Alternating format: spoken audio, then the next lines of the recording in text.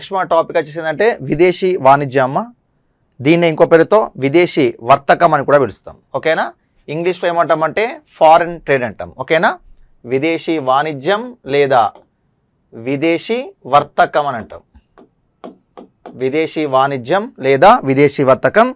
దీన్నే మనం ఇంగ్లీష్లో ఏమంటామంటే ఫారెన్ ట్రేడ్ అని కూడా పిలుస్తాం. Foreign trade. సో మరి ఇక్కడ అసలు విదేశీ వాణిజ్యం అంటే ఏంటిది? అసలు సింపుల్గా ఈ టాపిక్లో మనం ఏమేమి డిస్కస్ చేసుకుంటామంటే అసలు విదేశీ వాణిజ్యం అంటే ఏంటిది? అటర్కీ అంటే ఏంటిది?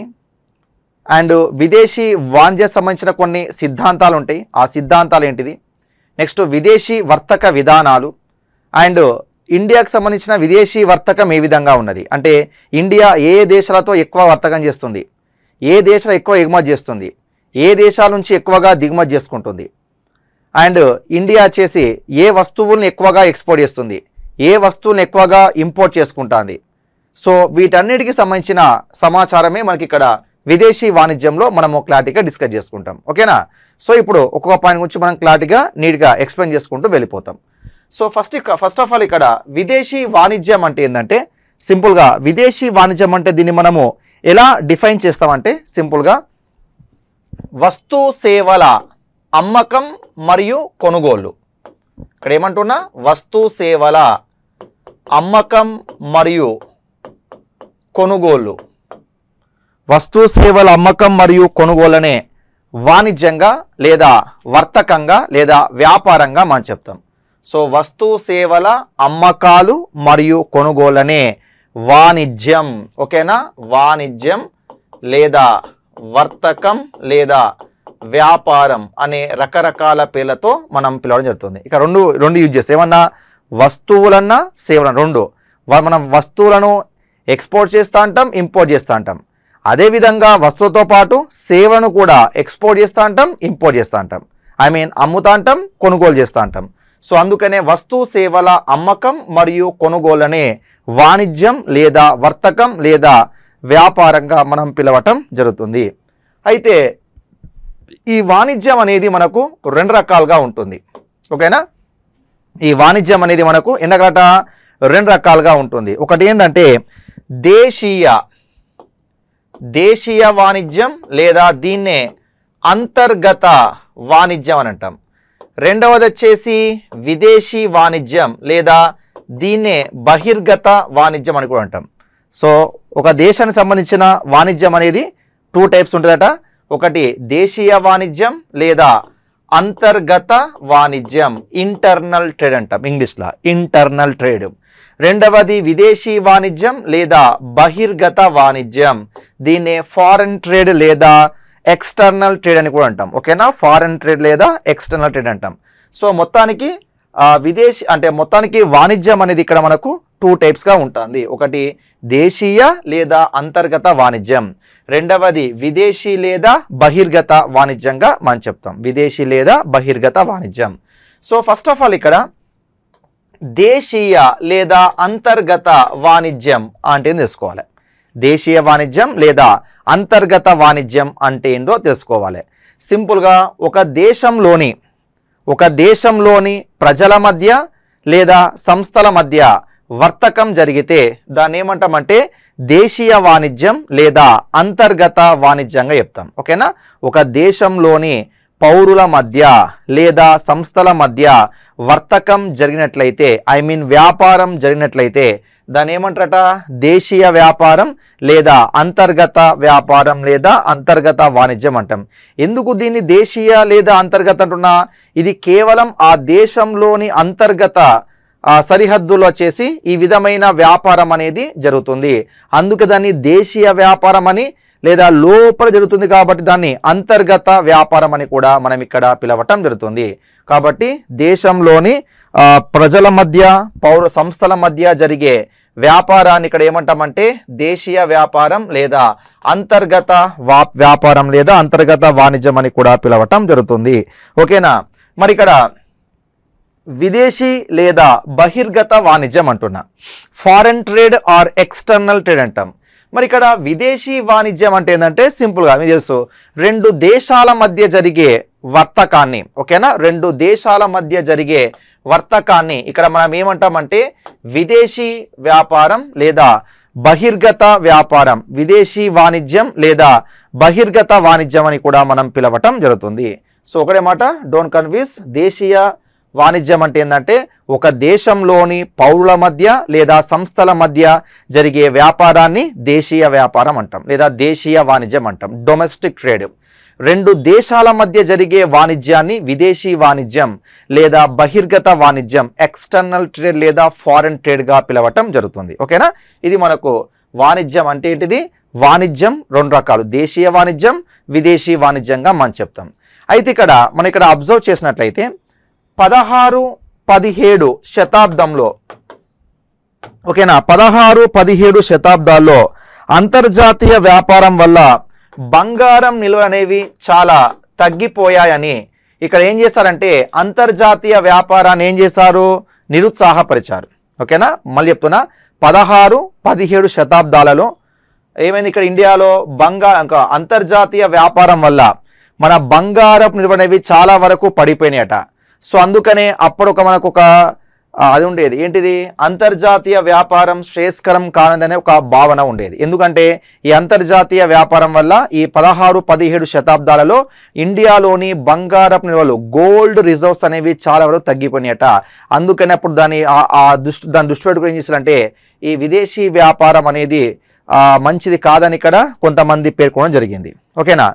సో ఎవరు ఎలాగున్నా దీనిపైన మాత్రం మనకు కొన్ని దృక్పథాలు ఉంటాయి కొందరు విదేశీ వ్యాపారము నష్టదాయం అంటారు కొందరు విదేశీ వ్యాపారము లాభదాయకం అంటారు మరొకరు విదేశీ వ్యాపారం లాభదాయకమే కానీ దానికి కొన్ని దానికి కొన్ని పరిమితులు విధించాలని చెప్తారు. సో ఒక్కొక్కటి ప్రకారము ఒక్కో విధంగా ఉంటుంది. అదేంటితో మనం క్లారిటీగా డిస్కస్ చేసుకుంటాం. ఓకేనా? సో మొత్తానికి మాత్రం ఇప్పుడు మనం ఏం చెప్పాం? వాణిజ్యం అంటే ఏంటిది? వాణిజ్యం ఎన్ని రకాలు? దాంట్లో దేశీయ వాణిజ్యం లేదా అంతర్గత వాణిజ్యం అంటే ఏంటిది?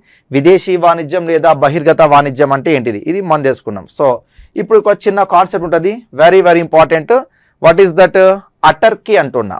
ఓకే దీన్నే మనము తెలుగులో ఏమంటామంటే ఆత్మ నిర్భరత అంటాం. So autarky. ఎక్కువ మాత్రం ఇక్కడ ఇంగ్లీష్ వర్డ్ ఎక్కువ గుర్తుపెట్టుకోండి. ఇంగ్లీష్ వర్డే మనకి ఎక్కువగా క్వశ్చన్ అడతాడు సో ఇదే ఇంగ్లీష్ వర్డ్ని తెలుగులో అటర్కీ అని రాస్తారు ఇక్కడ. కాబట్టి ఎక్కువ ఫస్ట్ ఫోకస్ ఇంగ్లీష్ వర్డ్ చూసుకోండి. అటర్కీ. సో ఇక్కడ simple word and very important word autarky అంటాం. సో అటర్కీ అంటే ఏంటంటే ఇప్పుడు కామన్గా చూడండి. నవెడేస్ మనకు ప్రజెంట్ దేశాన్ని గనక మనం పరిశీలించినైతే ప్రతి దేశం ఏదో ఒక దా ఏదో ఒక వస్తువు కోసమో లేదా ఏదో ఒక సేవ కోసమో ఇతర దేశాలపైన కంపల్సరీగా డిపెండ్ కావాల్సి వస్తుంది. అంటే నేడు ఏ దేశం కూడా స్వయం సమృద్ధి దేశంగా లేదు. ఏదో ఒక అంశం పైన ఏదో ఒక దేశం ఇంకో దేశం పైన ఏమవుతుంది ఇక్కడ? డిపెండ్ అవుతుంది ఓకే అర్థమవుతుంది ఇక్కడ? సో ఇక్కడ అంటే నవ్వడేస్ అంటే దాదాపుగా విదేశీ వాణిజ్యం లేని దేశాలు ప్రపంచంలో లేవనే చెప్పవచ్చు. ఓకేనా? విదేశీ వాణిజ్యం అంటే ఒక దేశం ఇంకో దేశం పైన ఏదైనా వస్తువు కోసం లేదా సేవ కోసం డిపెండ్ అయితే ఐ మీన్ ఎగుమతి చేసినా లేదా దిగుమతి చేసుకున్నా అక్కడ విదేశీ వాణిజ్యం ఉన్నట్టు. మరి నవ్వడేస్ మనం చూసినట్లయితే ఏ దేశమైనా కంపల్సరిగా విదేశీ వాణిజ్యాన్ని కలిగి ఉంటుంది. అసలు విదేశీ వాణిజ్యం లేని దేశమైనా ఉన్నాయా? ఊహించుకోవడమే చాలా కష్టం. ఓకేనా? ప్రతి దేశానికి ఏదో ఒక అది ఎంత డెవలప్డ్ కంట్రీ అయినా ఆ దేశానికి ఏదో ఒక అవసరం అనేది కంపల్సరిగా ఉంటుంది. కాబట్టి అది ఏం చేయాలి? ఇతర దేశం పైన తప్పనిసరిగా డిపెండ్ కావాల్సి ఉంటుంది. కానీ ఇక్కడ ఈ వర్డ్ అటర్కి దేని సూచిస్తుందంటే సింపుల్గా ఎలాంటి విదేశీ వ్యాపారం లేని ఆర్థిక వ్యవస్థను ఏమంటామంటే అటర్కి అంటామట. వాట్ ఈస్ దట్ ఏమంటున్నా? ఎలాంటి విదేశీ వ్యాపారం ఎలాంటి విదేశీ వ్యాపారం లేని ఆర్థిక వ్యవస్థను ఎలాంటి విదేశీ వ్యాపారం లేని ఆర్థిక వ్యవస్థను ఏమంటారంటే అటర్కీగా పిలవటం జరుగుతుంది. అటర్కీ అంటే ఆ దేశం ఇతర దేశాలపైన విదేశీ వర్తకం కోసం ఆధారపడదు. అంటే ఆ దేశం ఇతర దేశాలకు ఏం ఎగుమతి చేయదు అదేవిధంగా ఇతర దేశాల నుంచి ఏమో దిగుమతి కూడా చేసుకోదని అర్థం దాని యొక్క మీనింగ్. సో అంటే సింపుల్గా దీన్ని ఏం చెప్పచ్చే? సింపుల్గా దీన్ని ఎలా మనం చెప్పచ్చు అంటే క్లోజ్డ్ ఎకానమీగా మనం చెప్తాం. అంటే మూసివేయబడిన ఆర్థిక వ్యవస్థనే ఏమంటాం? అటర్కీ అంటాం. ఓకేనా? ఈ వర్డ్ రాసుకోండి. ఓకేనా? అటర్కీ మీన్స్ ఏంటంటే క్లోజ్డ్ ఎకానమీ. ఓకేనా? అటర్కీ మీన్స్ ఏమంటే క్లోజ్డ్ ఎకానమీ లేదా మూసివేయబడిన ఆర్థిక వ్యవస్థగా మనం చెప్తాం. మూసివేయబడిన ఆర్థిక వ్యవస్థ. సో క్లారిటీగా. కాబట్టి అటర్కీ అంటే మీకు క్లారిటీ వచ్చింది. సో అటర్కీ అంటే ఎలాంటి విదేశీ వ్యాపారం లేని ఆర్థిక వ్యవస్థను అటర్కీ అంటాం. ఫర్ ఎగ్జాంపుల్ మన ఇండియా ఉన్నాయి ఇప్పుడు. ఫర్ ఎగ్జాంపుల్ అనుకోండి. మన ఇండియా ఏ దేశంతో ఎలాంటి వ్యాపార సంబంధాలు పెట్టుకోలేదు. ఏకాంతంగా ఉండిపోయింది. అంటే ప్రపంచంలో ఇతర దేశాలతో సంబంధం లేకుండా ఒకటిగానే మిగిలిపోయింది. అప్పుడు మన ఇండియాని ఏమంటాము? ఎస్ అటర్కీగా మనం చెప్తాం. ఓకేనా అప్పుడు ఇండియన్ ఏమంటాం? అటర్కీ అంటాం. ఎందుకంటే మన ఇండియా ఏ వస్తువును ఏ దేశం నుంచి దిగుమతి చేసుకుంటలేదు. అదేవిధంగా ఏ వస్తువు సేవను కూడా ఇతర దేశాలకు ఎక్స్పోర్ట్ చేయటం లేదు. అనుకుంటే అప్పుడు మన ఇండియా మనం ఏమవచ్చు ఒక అటర్కీగా మనం పేర్కోవచ్చు అది దాని యొక్క మీనింగ్ కాబట్టి ఎలాంటి విదేశీ వ్యాపారం లేని ఆర్థిక వ్యవస్థను అటర్కీ అంటాం. దీన్నే మనం ఏమంటామంటే క్లోజ్డ్ ఎకానమీ లేదా మూసివేయబడిన ఆర్థిక వ్యవస్థగా మనం పిలవటం జరుగుతుంది. సో మొత్తానికి అటర్కీలో ఒక దేశం ఇతర దేశాలతో ఎలాంటి వర్తక వ్యాపారం అనేది చేయదు సో ఈ వర్డ్ మాత్రం గుర్తుపెట్టుకోండి. ఓకేనా? సో ఇది మనకు అటర్కీ ఆత్మ నిర్భరత అంటే ఆత్మ నిర్భరత అంటే ఆ దేశం తనకు కావలసిన వస్తు సేవలన్నింటినీ తానే ప్రొడ్యూస్ చేసుకోవడం అర్థం. మరి ఇలా అన్ని దేశాలు అన్ని దేశాలకు పాస్ అవుతుందా? అంటే కాదు. ఎందుకంటే ఈ ఆ దేశం యొక్క భౌగోళిక లక్షణం దృష్ట్యా కావచ్చు? ఓకేనా? లేదా దాని యొక్క రాజకీయంగా కావచ్చు రకరకాల ఫ్యాక్టర్స్ వచ్చేసి ఆ దేశంలో వస్తువు ఉత్పత్తిని వచ్చేసి ప్రభావితం చేస్తాయి. సో మొత్తానికి ఎలాంటి విదేశీ వ్యాపారం లేకుండా ఏకాంతంగా ఉన్న ఆర్థిక వ్యవస్థను ఏమంటామంటే అటర్కీగా మనం ఇక్కడ పిలవటం జరుగుతుంది. సో అది గుర్తుపెట్టుకోండి. సో ఇది మనకు అటర్కీకి సంబంధించిన ఇన్ఫర్మేషన్. సో దీని తర్వాత నెక్స్ట్ ఏమంటుంది ఇక్కడ? అంతర్జాతీయ వ్యాపారం దృక్పథాలు. పర్స్పెక్టివ్స్ ఆఫ్ ఇంటర్నేషనల్ ట్రేడ్ అంటాం. ఓకేనా అంతర్జాతీయ వ్యాపారం దృక్పథాలు. అంటే మీందు మాడిపిన పదహారు పదిహేడవ శతాబ్దంలో మన ఇండియాలో అంటే ఇండియాలో వచ్చేసి విదేశీ వర్తకం వల్ల బంగారం విలువలు ఏమైనాయి? తగ్గిపోయాయి. సో అందుకే కొంతమంది ఏం చేస్తారు ఆ ఇండియాకు విదేశీ వ్యాపారం అవసరం లేదు. సో దీనివల్ల బంగారం విలువ అనేవి తగ్గిపోతాయని కొంతమంది చెప్పారు సో ఇక్కడ ఏంటంటే ఈ టాప్లో ఏం చెప్తాం అంటే అంతర్జాతీయ వ్యాపారం పైన కొంతమంది ఆ, దీన్ని లాభదాయకం అంటారు కొంతమంది నష్టదాయకం అంటారు సో ఎవరు దీన్ని ప్రాఫిట్ అన్నారు ఎవరు దీన్ని లాస్ అన్నారు వారి యొక్క వ్యాఖ్యానాలు స్టేట్మెంట్ అనేవి గుర్తుపెట్టుకోవాలి. సో ఫస్ట్ ఆఫ్ ఆల్ ఇక్కడ అంతర్జాతీయ వ్యాపారం దృక్పథాల్లో ఫస్ట్ వన్ భౌతికవాదులు. ఓకేనా? భౌతికవాదులు. ఈ భౌతికవాదులు అంతర్జాతీయ వ్యాపారం పైన ఎలాంటి స్టేట్మెంట్ చేస్తారంటే సింపుల్గా అంతర్జాతీయ వ్యాపారం అనేది నష్టదాయకమని ఈ భౌతికవాదుల అభిప్రాయం అట అంటే వీళ్ళ ప్రకారము ఒక దేశం అనేది అంతర్జాతీయ వ్యాపారం చేయడం వల్ల ఆ దేశానికి నష్టం వాటిల్లుతుందని వీళ్ళు చెప్పారు. కాబట్టి మొత్తానికి అంతర్జాతీయ వ్యాపారం అనేది ఇక్కడ భౌతికవాదుల ప్రకారము నష్టదాయకంగా చెప్పడం జరుగుతుంది. ఓకేనా? కాబట్టి భౌతికవాదుల ప్రకారము అంతర్జాతీయ వ్యాపారం అనేది నష్టదాయకం. నెక్స్ట్ వచ్చేసి వాణిజ్యవాదులు. మర్చెంటిస్ట్ అంటాం. ఓకేనా? వాణిజ్యవాదులు. మరి ఇక్కడ ఈ వాణిజ్యవాదుల ప్రకారం అంతర్జాతీయ వ్యాపారం అనేది లాభదాయకం ఓకేనా? అంతర్జాతీయ వ్యాపారం అనేది లాభదాయకం. ఓకేనా? వాణిజ్యవాదుల ప్రకారం అంతర్జాతీయ వ్యాపారం ఫారెన్ ట్రేడ్ అనేది లాభదాయకం. ప్రాఫిట్గా చెప్తాం. కాకపోతే వీళ్ళు ఒక మాట అంటారు. ఏంటి ఆ మాట అంటే ఈ అంతర్జాతీయ వ్యాపారం అనేది ఎవరి ఆధీనంలో ఉండాలంటే ప్రభుత్వ ఆధీనంలో ఉండాలని కోరుకుంటారు వీళ్ళు. ఎవరు? అంతర్జాతీయ వ్యాపారం లాభదాయకమే. ఓకే ప్రాఫిట్ అంటారు. కాకపోతే ఆ అంతర్జాతీయ వ్యాపారం అనేది ఎవరి ఆధీనంలో ఉండాలట? ఎస్ ప్రభుత్వ ఆధీనంలో ఉండాలట. ప్రభుత్వ ఆధీనంలో ఉండని కోరుకున్న వాళ్ళు ఈ వాణిజ్యవాదులుగా మనం చెప్తాం. ఓకేనా? ఇక నెక్స్ట్ ఇంకోటి ఎవరంటే సాంప్రదాయవాదులు. మూడవరు ఎవరు? సాంప్రదాయవాదులు. ఓకే మరి ఇక్కడ సాంప్రదాయవాదులు వీళ్ళు ఏమంటారు అంటే ఇప్పుడు వాణిజ్యవాదులు ఏమన్నారు? అంతర్జాతీయ వ్యాపారం అనేది ప్రభుత్వ ఆధీనంలో ఉండంటారు. కానీ ఇక్కడ సాంప్రదాయవాదులు ఏమంటారు అంటే అంతర్జాతీయ వ్యాపారంలో ఓకేనా? అంతర్జాతీయ వ్యాపారంలో ఓకేనా? అంతర్జాతీయ వ్యాపారంలో ప్రభుత్వ పాత్ర ఉండకూడదు అంటారు వీళ్ళు ఓకేనా? అంతర్జాతీయ వ్యాపారంలో ప్రభుత్వ పాత్ర ఉండకూడదని చెప్పింది ఎవరంటే సాంప్రదాయవాదులుగా మనం చెప్తాం. సో మళ్ళీ గుర్తుపెట్టుకోండి ముగ్గురు చాలా చాలా ఇంపార్టెంట్ ఇక్కడ. అంతర్జాతీయ వ్యాపారం దృక్పథాల్లో భాగంగా ఒకటే మాట భౌతికవాదుల ప్రకారం అంతర్జాతీయ వ్యాపారం అనేది నష్టదాయకం అట వాణిజ్యవాదుల ప్రకారం అంతర్జాతీయ వ్యాపారం అనేది లాభదాయకమట. కాకపోతే ఇక్కడ ఏం చెప్తారు? ఈ అంతర్జాతీయ వ్యాపారం అనేది వాణిజ్యవాదుల ప్రకారము ఎవరి ఆధీనంలో ఉండాలి? ప్రభుత్వ ఆధీనంలో ఉండాలి. నెక్స్ట్ సాంప్రదాయవాదుల ప్రకారము అంతర్జాతీయ వ్యాపారంలో ప్రభుత్వ పాత్ర ఉండకూడదు అంటాడు అంటే మొత్తం స్వేచ్ఛా వ్యాపారం అనేది ఉండంటాడు ఓకేనా? సో మొత్తానికి అంతర్జాతీయ వ్యాపారంలో ప్రభుత్వ పాత్ర ఉండకూడదు అనేది సాంప్రదాయవాదుల వాదన. అదే అంతర్జాతీయ వ్యాపారం ప్రభుత్వ ఆధీనంలో ఉండని కోరుకున్న వారెవరు? వాణిజ్యవాదులు. ఇక భౌతికవాద అసలు ఇక అంతర్జాతీయ వ్యాపారమే వద్దంట. ఎందుకంటే అంతర్జాతీయ వ్యాపారం అనేది వీళ్ళ ప్రకారం ఎలా ఉంటుందట? నష్టదాయకంగా ఉంటుంది. సో ఇలా గుప్పడు సరిపోతుంది. సో ఇక్కడ ఒక ఈ సాంప్రదాయవాదుల్లో చూడండి ఇక్కడ. సాంప్రదాయవాదులు ఏమన్నారు ఇక్కడ? అంతర్జాతీయ వ్యాపారంలో ప్రభుత్వ పాత్ర ఉండకూడదు అలా సాంప్రదాయవాదుల్లో అతి ప్రధానమైన వ్యక్తి ఎవరంటే మనకు యాడమ్ స్మిత్గా మనం పేర్కొంటాం. ఎవరట? Adam Smith. అంటే ఇక్కడ సాంప్రదాయవాదులకి ఇక్కడ ద బెస్ట్ ఎగ్జాంపుల్ ఎవరంటే ఇక్కడ ఆడమ్ స్మిత్ని పేర్కొంటాం ఓకేనా? అర్థశాస్త్ర పితామహుడు. సో ఇతని యొక్క ప్రముఖ గ్రంథం అందజేసిన విషయమే? వెల్త్ ఆఫ్ నేషన్స్ పదిహేడు వందల డెబ్బై ఆరులో వెల్త్ ఆఫ్ నేషన్స్ అనే గ్రంథాన్ని కూడా ఇతను రచించడం జరిగింది ఓకేనా? వెల్త్ ఆఫ్ నేషన్స్ అర్థశాస్త్ర పితామహునిగా ఇతన్ని మనం పేర్కొంటాం. సో ఇక్కడ సాంప్రదాయవాదులలో యాడమ్ స్మిత్ అనేది యాడమ్ స్మిత్ అనేవాడు ఇక్కడ ప్రప్రథముడుగా మనం పేర్కొనడం జరుగుతుంది. ఇంకోటి ఎవరంటే ప్రముఖ ఆర్థికవేత్త very very important JM Keynes ఓకేనా జేఎం కీన్స్ ఈ జేఎం కీన్స్ ఏమంటారంటే ఈ JM Keynes plus JM Keynes అనేది స్వేచ్ఛ వ్యాపారాన్ని చెప్తాడు. ఓకేనా స్వేచ్ఛ వ్యాపారం. స్వేచ్ఛ వ్యాపారం ఉండాలి కానీ ఆ స్వేచ్ఛ వ్యాపారం అనేది ఎవరి ఆధీనంలో ఉండాలట?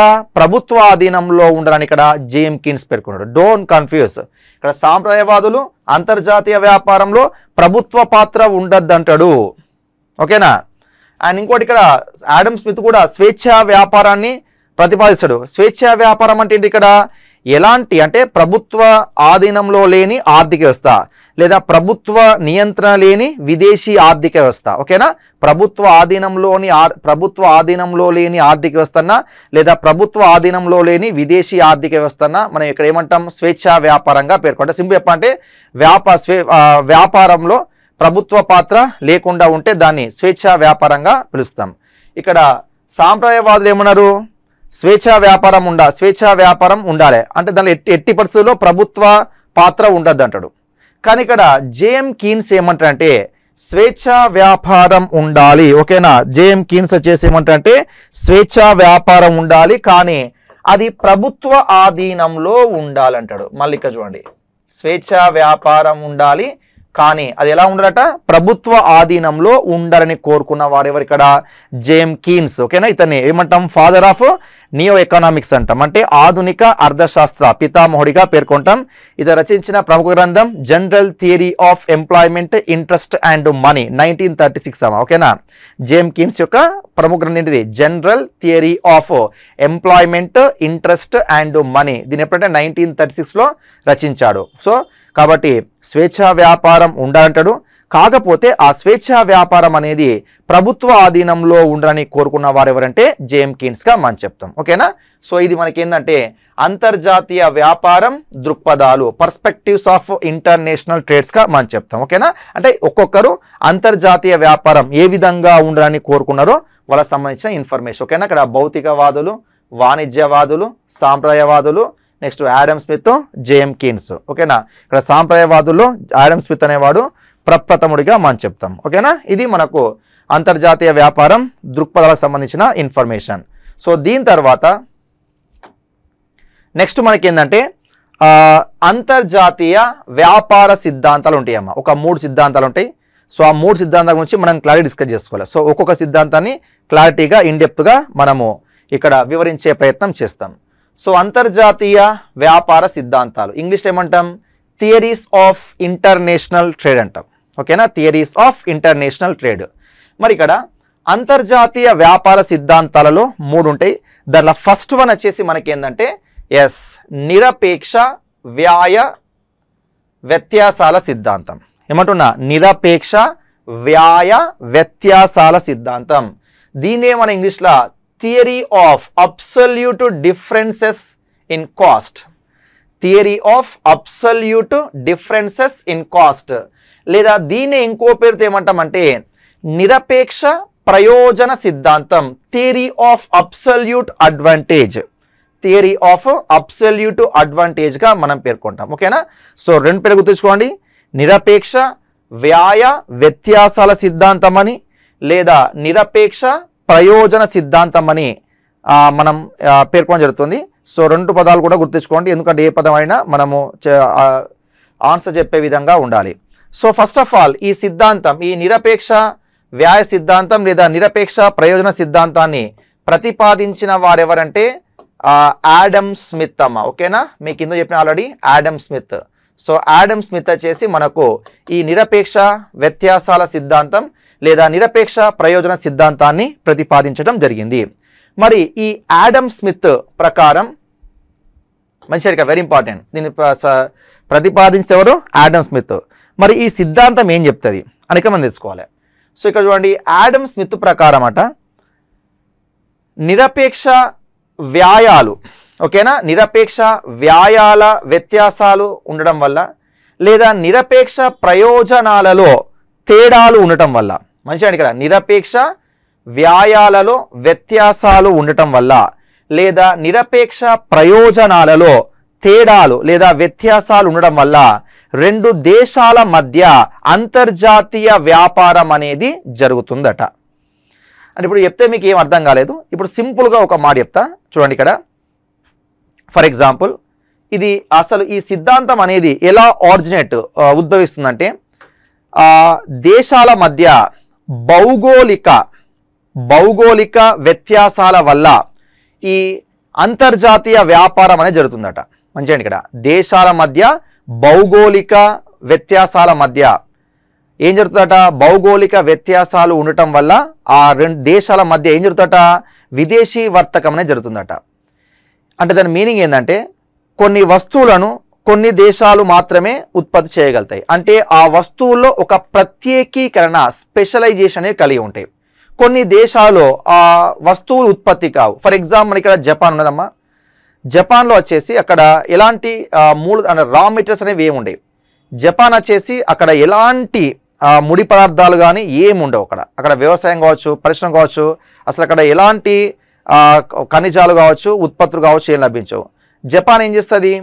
ఆ ముడి పదార్థాన్ని ఇతర దేశాల నుంచి దిగుమతి చేసుకొని ఏం చేస్తుంది? ఆ దాంతో వస్తువును తయారు చేసి అది ఇతర దేశాలకు ఎగుమతి చేస్తూ ఉంటుంది.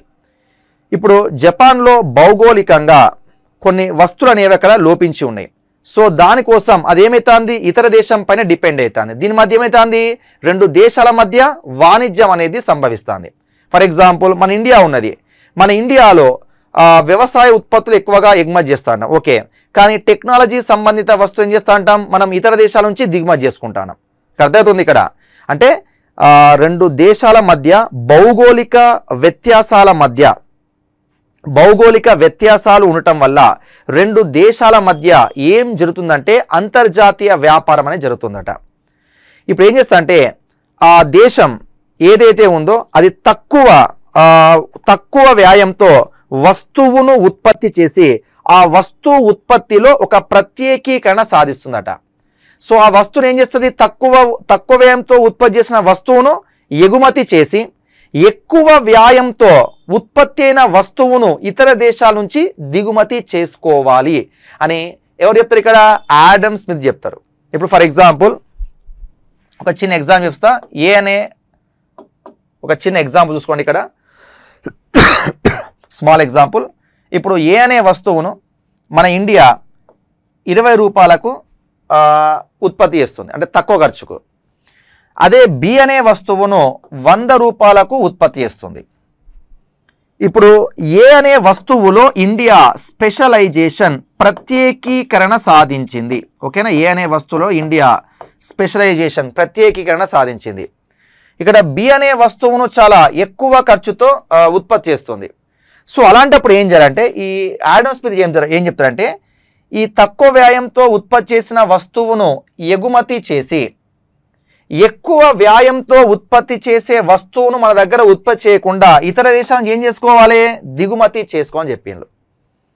ఇలా రెండు దేశాల మధ్య భౌగోళిక వ్యత్యాసాల కారణంగా అంతర్జాతీయ వ్యాపారం అనేది ఏర్పడుతుంది. ఏ దేశం అయితే ఆ వస్తువును తక్కువ వ్యాయంతో ఉత్పత్తి చేయగలుగుతుందో ఆ దేశం దాంట్లో ప్రత్యేకీకరణ సాధించడం జరుగుతుంది. సో ఆ ప్రత్యేకీకరణ సాధించిన వస్తువును ఇతర దేశాలకు ఎగుమతి చేసి అధిక వ్యాయంతో కూడుకొని ఉన్న వస్తువులను ఇతర దేశాల నుంచి దిగుమతి చేసుకోవాలి. దీనివల్ల దేశం అనేది లబ్ధి పొందుతుందని ఇక్కడ యాడమ్ స్మిత్ చేసి చెప్పడం జరిగింది. ఓకేనా? దీన్ని మనం ఏమంటే ఇక్కడ? తులనాత్మక వ్యత్యాసాల సిద్ధాంతం లేదా నిరాపేక్ష ప్రయోజన సిద్ధాంతంగా మనం ఇక్కడ చెప్పటం జరుగుతుంది. సో ఇది జరగాలంటే కంపల్సరిగా అక్కడ రెండు కండిషన్స్ ఉండాలి. ఒకటి ఏంటంటే స్వేచ్ఛ స్వేచ్ఛ వ్యాపారం ఉండాలి. రెండవది వస్తు ఉత్పత్తిలో ప్రత్యేకీకరణ అంటే స్పెషలైజేషన్ ఉండాలి. ఇది కంపల్సరీ ఓకేనా? అంటే ఇక్కడ ఆడమ్ స్మిత్ ప్రకారం నిరపేక్ష ప్రయోజన సిద్ధాంతానికి ఇక్కడ ప్రధానంగా రెండు అంశాలు తప్పనిసరిగా ఉండాలి. ఒకటి ఏంటంటే స్వేచ్ఛా వ్యాపారం కలిగి ఉండాలి. రెండవది వస్తు ఉత్పత్తిలో ప్రత్యేకీకరణ సాధించి ఉండాలి. ఇలాంటి సందర్భంలో మనకు ఈ నిరపేక్ష వ్యయ సిద్ధాంతం అనేది సక్సెస్ కావడం జరుగుతుందట. ఓకేనా? సో మళ్ళీ చెప్తున్నాయి ఇక్కడ డోంట్ కన్ఫ్యూజ్. ఈ నిరపేక్ష వ్యాయ వ్యత్యాసాల సిద్ధాంతం లేదా నిరపేక్ష ప్రయోజన సిద్ధాంతం అనేది మనకు ప్రతిపాదించి ఎవరంటే ఆడమ్ స్మిత్ వచ్చేసి ప్రతిపాదించిండు. సో ఇతని ప్రకారం అట ఈ రెండు దేశాల మధ్య అంతర్జాతీయ వ్యాపారం జరగడానికి గల ప్రధాన కారణం ఏంటంటే భౌగోళిక వ్యత్యాసాలట. ఓకేనా? భౌగోళిక వ్యత్యాసాల వల్ల అంతర్జాతీయ వ్యాపారం జరుగుతుందట. సో భౌగోళిక వ్యత్యాసాల వల్ల ఆ దేశం ఒక వస్తువును ఆ దేశం అనేది ఎక్కువగా ఉత్పత్తి చేయగలుగుతుంది. సో దానివల్ల ఆ దేశం ఆ వస్తు ఉత్పత్తిలో ప్రత్యేకీకరణ సాధించడం జరుగుతుంది. సో అలా ఆ వస్తువును తక్కువ వ్యయంతో ఉత్పత్తి చేస్తుంది. సో అలా తక్కువ వ్యయంతో ఉత్పత్తి చేసిన వస్తువును ఇతర దేశాలకు ఏం చేయాలట? ఎగుమతి చేయాలి. ఎక్కువ వ్యయంతో ఉత్పత్తి చేసే వస్తువులను ఇతర దేశాల నుంచి ఏం చేసుకోవాలట? దిగుమతి చేసుకోవాలట. సో దీనివల్ల రెండు దేశాల మధ్య అంతర్జాతీయ వ్యాపారం అనేది ఏర్పడుతుందని చెప్పిండు. సో ఆ విధంగా మనకు అంతర్జాతీయ వ్యాపార సిద్ధాంతాల్లో ఒక సిద్ధాంతం ఏదంటే ఈ నిరపేక్ష వ్యాయ వ్యత్యాసాల సిద్ధాంతం లేదా దీని ఇంకో పేరుతో నిరపేక్ష ప్రయోజన సిద్ధాంతంగా చెప్తాం. చూడండి ఇక్కడ వ్యాయ వ్యత్యాసాలు. ఎందుకంటే ఒక వస్తువును ఒక దేశం తక్కువకే ఉత్పత్తి చేస్తుంది. ఇంకో దేశం ఎక్కువకు ఉత్పత్తి చేస్తుంది. సో అప్పుడు ఏం చేయాలి? ఎక్కువ వ్యయంతో ఉత్పత్తి చేసే దేశం ఆ వస్తు ఉత్పత్తి ఏం చేయాలి? ఆపివేయాలి. ఆపివేసి తక్కువ వ్యయంతో ఏ దేశం అయితే ఉత్పత్తి చేస్తుందో ఆ దేశం ఏం తీసుకోవాలి?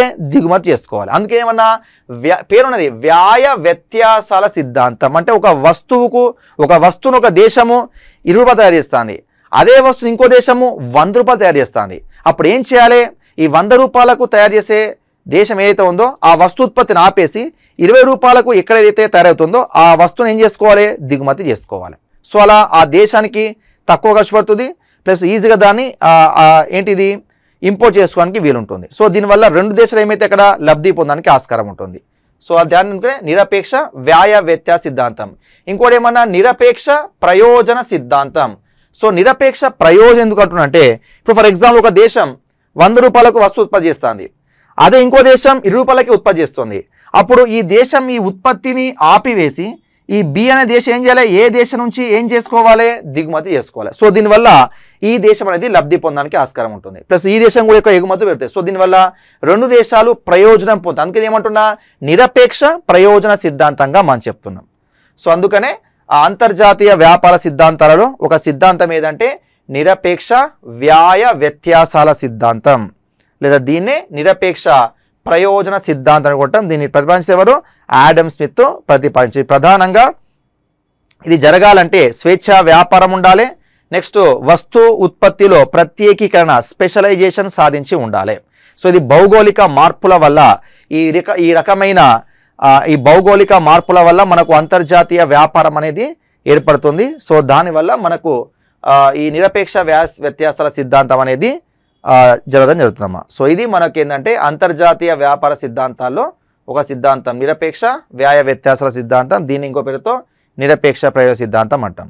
సో దీని తర్వాత నెక్స్ట్ రెండు సిద్ధాంతాలు ఉంటాయి వాటి గురించి డిస్కస్ చేసుకుంటాం. ఓకేనా? రైట్. ఓకే. సో మనకు అంతర్జాతీయ వ్యాపార సిద్ధాంతాలకు సంబంధించి ఒక సిద్ధాంతం నిరపేక్ష వ్యాయ వ్యత్యాస సిద్ధాంతం తీసుకున్నాం. రెండవ సిద్ధాంతం ఏదంటే తులనాత్మక వ్యాయ వ్యత్యాసాల సిద్ధాంతం. ఇంగ్లీష్లో ఏమంటామంటే థియరీ ఆఫ్ కంపారేటివ్ అడ్వాంటేజ్ అంటాం. థియరీ ఆఫ్ కంపారేటివ్ అడ్వాంటేజ్ అంటే తులనాత్మక వ్యాయ వ్యత్యాసాల సిద్ధాంతం అంటాం. సో ఇక్కడ ఫస్ట్ ఆఫ్ ఆల్ ఈ సిద్ధాంతాన్ని ప్రతిపాదించిన వారెవరంటే డేవిడ్ రికార్డో అమ్మ. ఎవరట? David Ricardo.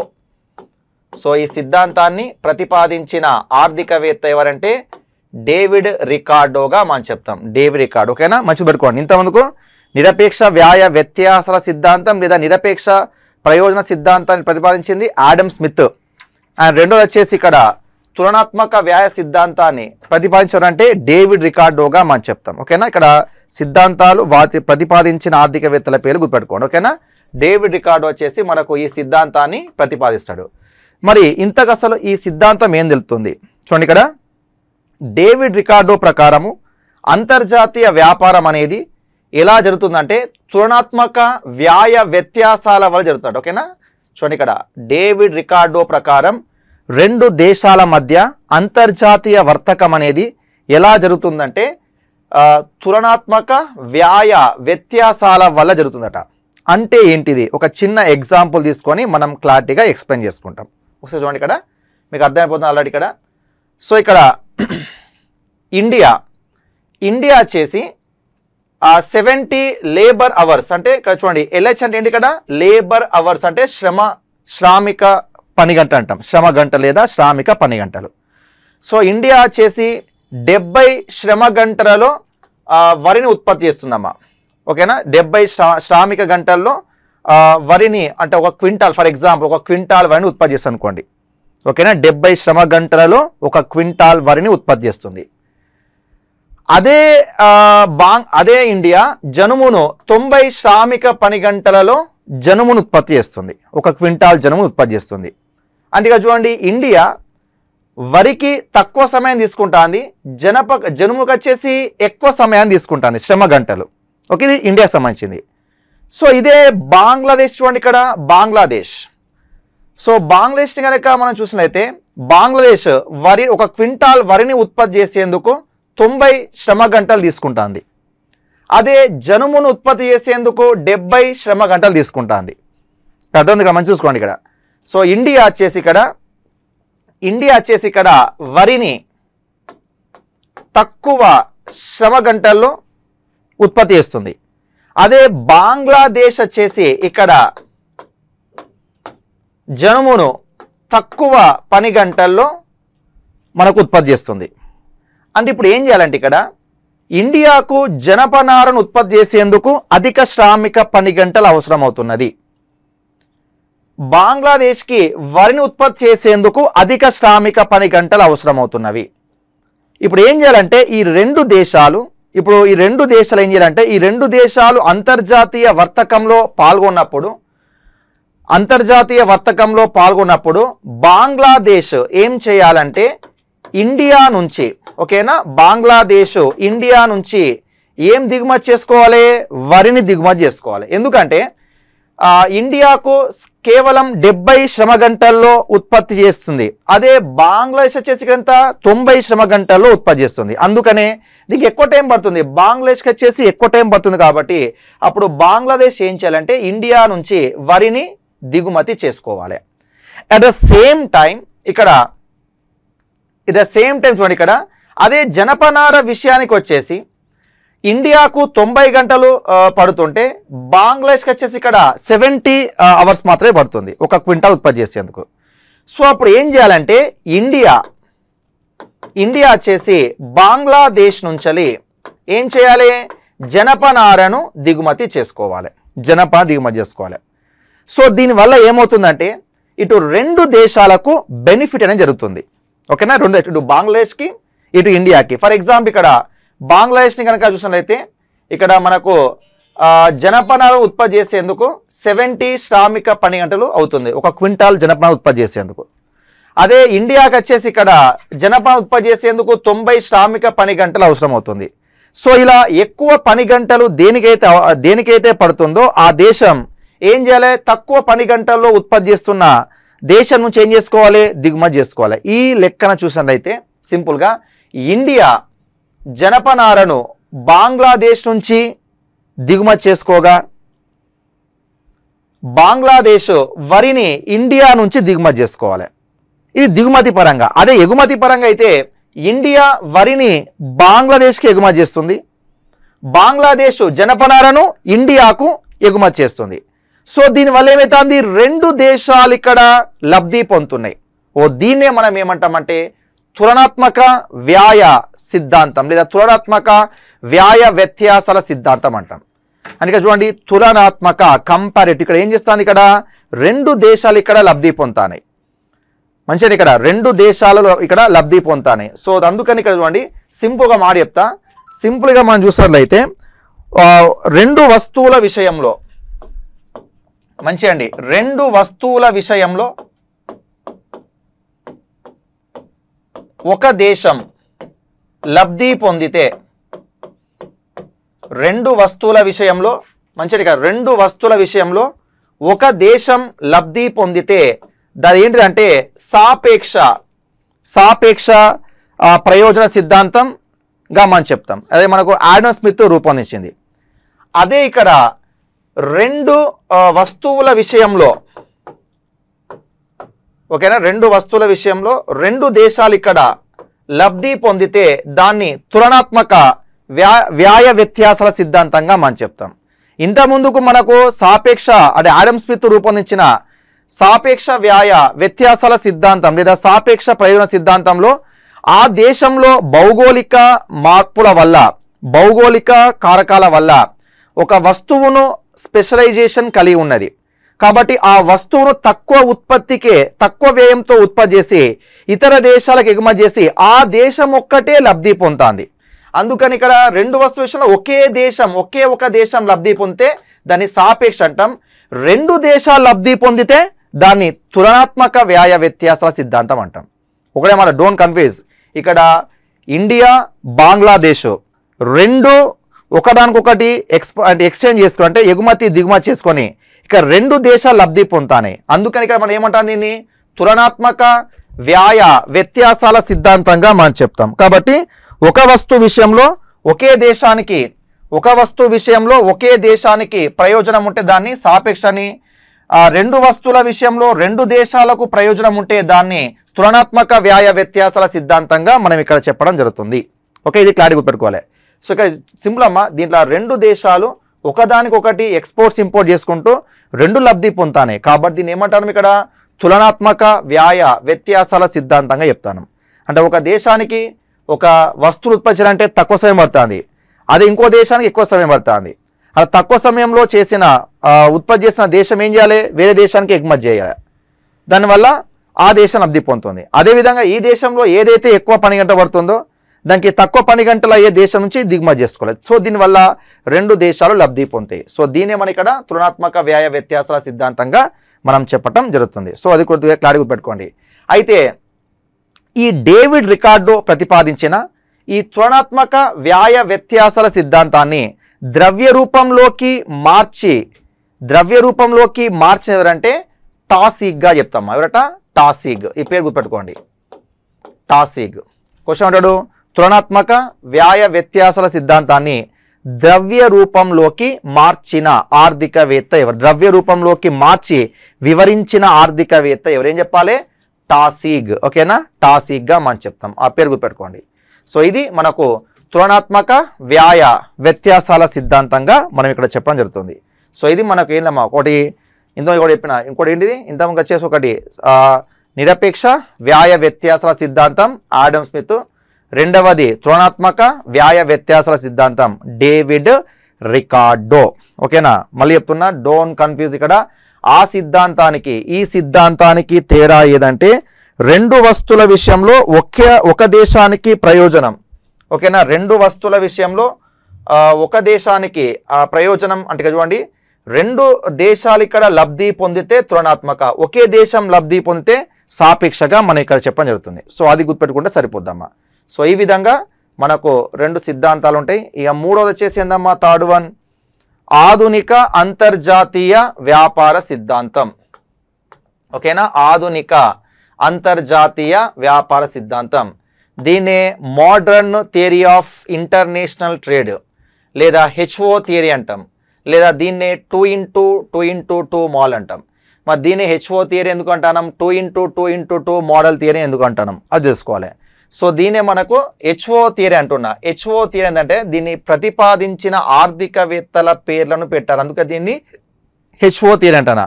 అంటే దీన్ని ప్రతిపాదించిన వారు ఎవరంటే హెక్సార్ మరియు ఓహ్లిన్. ఎక్సార్ మరియు ఓహ్లిన్లు వచ్చేసి వీళ్ళిద్దరూ ఈ సిద్ధాంతాన్ని ప్రతిపాదించి అందుకని ఇతను హెచ్ ఓ అందుకే దీన్ని హెచ్ఓ థియరీగా మనం చెప్తాం. కాబట్టి మొత్తానికి ఆధునిక అంతర్జాతీయ వ్యాపార సిద్ధాంతమును ప్రతిపాదించిన వారెవరంటే హెక్సార్ మరియు ఓహ్లీన్. ఓకేనా? హెక్సార్ మరియు ఓహ్లీన్ల చేసి ఈ సిద్ధాంతాన్ని ప్రతిపాదించటం జరిగింది. మరి దీన్ని ఎందుకు two into two into two మోడల్గా పిలుస్తున్నా?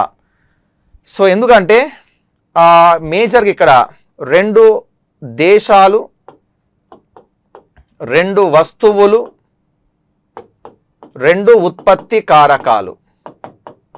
రెండు దేశాలు రెండు వస్తువులు రెండు ఉత్పత్తి కారకాలు. సో అందుకే దీన్ని ఇక్కడ మనము టూ ఇంటూ టూ ఇంటూ టూగా ఈ ఆధునిక అంతర్జాతీయ వ్యాపార సిద్ధాంతాన్ని పిలవటం జరుగుతుంది. మరి ఇంతకు ఈ సిద్ధాంతం ఏం చెప్తుంది? సో ఈ సిద్ధాంతం ఏం చెప్తుందంటే ఫర్ ఎగ్జాంపుల్ ఇక్కడ మనకు రెండు అంశాలు ఉంటాయేమో. ఒకటి ఏంటంటే శ్రమ లేబర్. ఓకేనా? ఒకటి శ్రమ అంటే దీని మనం ఇంగ్లీష్లో లేబర్ అంటాం. ఒకటి శ్రమ రెండవది వచ్చేసి మూలధనం. మూలధనం అంటే క్యాపిటల్. రెండవది మూలధనం క్యాపిటల్. సో శ్రమ లేబర్ రెండవది మూలధనం క్యాపిటల్. సో ఆధునిక అంతర్జాతీయ వ్యాపార సిద్ధాంతం ఇది ఏం చెప్తుందంటే ఇప్పుడు శ్రమ సాంద్ర మనకు వస్తు ఉత్పత్తి పద్ధతులు రెండు ఉంటాయి. శ్రమ సాంద్రత వస్తు ఉత్పత్తి పద్ధతి మూలధన సాంద్రత వస్తు ఉత్పత్తి పద్ధతి. శ్రమ సాంద్రత వస్తు ఉత్పత్తి పద్ధతిలో శ్రమను ఉపయోగించి వస్తువులను ఉత్పత్తి చేస్తారమ్మా. ఓకేనా? శ్రమను ఉపయోగించి వస్తువులను ఉత్పత్తి చేస్తారు. ఇది ప్రధానంగా మనకు డెవలపింగ్ కంట్రీస్లో అంటే అభివృద్ధి చెందుతున్న దేశాలలో డెవలపింగ్ కంట్రీస్ అభివృద్ధి చెందుతున్న దేశాలలో మనకు ఈ శ్రమ సాంద్రత ఉత్పత్తి శ్రమ సాంద్రత వస్తు ఉత్పత్తి పద్ధతి ఉంటుంది. సో ఇప్పుడు ఈ దేశాల్లో శ్రమను ఉపయోగించి వస్తు ఉత్పత్తి చేస్తారు. నెక్స్ట్ మూలధన సాంద్రత పద్ధతి. ఈ దేశం ఏంటంటే మూలధనమును ఉపయోగించి వస్తు సేవలను ఉత్పత్తి చేస్తారు. ఇవి ప్రధానంగా మనకు డెవలప్డ్ కంట్రీస్లో ఎక్కువగా ఉంటాయి. ఓకేనా సో ఇప్పుడు అభివృద్ధి చెందుతున్న దేశాల్లో శ్రమ సాంద్రత వస్తు ఉత్పత్తి పద్ధతులు ఎక్కువ ఉంటాయి. ఆల్రెడీ డెవలప్డ్ కంట్రీస్ అభివృద్ధి చెందిన దేశాల్లో మూలధన సాంద్రత వస్తు ఉత్పత్తి పద్ధతులు ఎక్కువ ఉంటాయి. సో ఇప్పుడు ఏం చేయాలంటే ఈ ఎగ్జాంపుల్ తీసుకోవడం క్లారిటీ అవుతుంది ఇప్పుడు ఇండియా ఉన్నది అభివృద్ధి చెందుతున్న దేశం. అమెరికా ఉన్నది అభివృద్ధి చెందిన దేశం. అప్పుడు ఏం చేయాలంటే ఇండియా శ్రమ సాంద్రత వస్తు ఉత్పత్తి పద్ధతులను అంటే శ్రమ సాంద్రత వస్తు ఉత్పత్తి పద్ధతిని ఉపయోగించి శ్రమసాంద్రత వస్తువులను తయారు చేసి అమెరికాకు ఎగుమతి చేయాలి.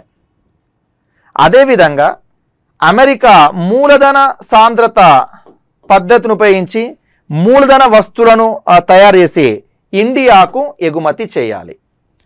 సో ఇలా ఈ రెండు దేశాలు ఇలా మనకు శ్రమ సాంద్రత పద్ధతిని ఉపయోగించి శ్రమ సాంద్రత వస్తువులను ఇండియా అమెరికాకు ఎగుమతి చేయగా మూలధన సాంద్రత పద్ధతిని ఉపయోగించి మూలధన వస్తువును తయారు చేసి అమెరికా ఇండియాకు ఎగుమతి చేస్తుంది. సో ఇలా రెండు దేశాలు దీనివల్ల లబ్ధి పొందడానికి ఆస్కారం ఉంటుంది. ఓ దీన్నే మనం ఏమంటామంటే ఆధునిక అంతర్జాతీయ వ్యాపార సిద్ధాంతంగా మనం చెప్తాం. ఓకేనా? సో ఇక్కడ అంటే ఇక్కడ మనకు అమెరికాలో శ్రమ సాంద్రత పద్ధతులు చాలా తక్కువ ఉంటాయి. ఎందుకంటే మొత్తం అక్కడ మెషిన్స్ అంటే సాంకేతిక పరిజ్ఞానంతో తయారు చేయబడే వస్తువులు ఎక్కువ ఉంటాయి. అలాంటి వస్తువులను మనము తీసుకొని మన దగ్గర శ్రమ సాంద్రత పద్ధతుల ద్వారా ఉత్పత్తి అయిన వస్తువులను అమెరికాకు ఎగుమతి చేసి ఇక రెండు దేశాలు ఏం చేయొచ్చు? అంతర్జాతీయ వ్యాపారంలో బెనిఫిట్ పొందవచ్చు. ఇలా చెప్పే సిద్ధాంతాన్ని మనం ఏమంటామంటే ఆధునిక అంతర్జాతీయ వ్యాపార సిద్ధాంతంగా చెప్తాం. దీన్నే మనము హెచ్ఓ అంటే హెగ్జార్ ఓహ్లీన్ వచ్చేసి దీన్ని ప్రతిపాదించారు కాబట్టి దీన్ని మనము హెచ్ఓ థియరీ హెగ్జార్ ఓహ్లీన్ థియరీగా చెప్పుకుంటాం. దీంట్లో మనకు రెండు దేశాలు ఇక్కడ చూడండి రెండు దేశాలు పాల్గొంటాయి. ఇక్కడ ఇండియా అమెరికా అంటున్నారు. అందుకే టూ. నెక్స్ట్ రెండు వస్తువులు ఉత్పత్తి చేస్తున్నాయి. ఓకేనా? రెండు అందుకే అది ఇంకో టూ అది రెండు ఉత్పత్తి కారకాల సాయంతో ఉత్పత్తి అవుతుంది. అందుకనే two into two into two మోడల్గా ఈ ఆధునిక అంతర్జాతీయ వ్యాపార సిద్ధాంతాన్ని మనం పిలవటం జరుగుతుంది. సో మొత్తానికి అంతర్జాతీయ వ్యాపార సిద్ధాంతాలకు సంబంధించి మనకు ఈ మూడు సిద్ధాంతాలు ఉంటాయి. ఈ క్రింది వాళ్ళలో అడగచ్చు ఇలాగే అడగచ్చు. ఈ క్రింది వాళ్ళలో లేకపోతే ఇటువైపు సిద్ధాంతాలు ఇచ్చి ఇటువైపు వాళ్ళ పేర్లు చేంజ్ చేయమంటాడు మ్యాచ్ ద ఫాలోయింగ్ చేయమంటాడు. సో అలా అడగచ్చు. లేకపోతే సి- సింపుల్గా ఈ సిద్ధాంతం ఇచ్చి దీన్ని ప్రతిపాదించిన ఎవరు లేదా ఆ సిద్ధాంతం యొక్క మెయిన్ థీమ్ ఇచ్చి ఈ సిద్ధాంతాన్ని ఏమని పిలుస్తారు? సో అలా రకరకాలుగా మనం లేదా ఇలా క్వశ్చన్ ఫర్ ఎగ్జాంపుల్ ఇప్పుడు ఏం ఒక దేశంలోని భౌగోళిక కారణాల వల్ల ఆ వస్తువు యొక్క ఉత్పత్తిలో ప్రత్యేకీకరణ సాధించడం వల్ల ఆ దేశం ఆ వస్తువును తక్కువ ఉత్పత్తి చేసి ఇతర దేశాలకు ఎగుమతి చేసి లబ్ధి పొందితే ఆ సిద్ధాంతాన్ని ఈ విధంగా పిలుస్తారు. ఏం చెప్పాలి? ఎస్ సాపేక్ష ఆ, తృణ సాపేక్ష ప్రయోజన సిద్ధాంతంగా చెప్తాం. అదే రెండు దేశాలు ఇక్కడ లబ్ధి పొందితే తృణాత్మక వ్యయ సిద్ధాంతం. లేదా ఇలా మూలధనం శ్రమ సాంద్రత ఆధారంగా లబ్ధి పొందితే దాన్ని ఆధునిక అంతర్జాతీయ వ్యాపార సిద్ధాంతంగా మనకి ఈ విధంగా పిలవటం జరుగుతుంది. ఈ విధంగా మనకు మూడు అంతర్జాతీయ వ్యాపార సిద్ధాంతాలు ఈ విధంగా ఉంటాయి. ఓకేనా సో దీని తర్వాత నెక్స్ట్ మనం కంటిన్యూ చేస్తాం. సో నెక్స్ట్ వచ్చేసి మనకు విదేశీ వర్తకంలో విదేశీ వర్తకానికంటే ముందు ఇక్కడ మనం చూసినట్లయితే ఒక చిన్న అంశం అమ్మ. ఆ అంశం ఏంటిదంటే లియోంటిఫ్ వైపరీత్యం అంటాం. Okay? What is that Leontief వైపరీత్యం.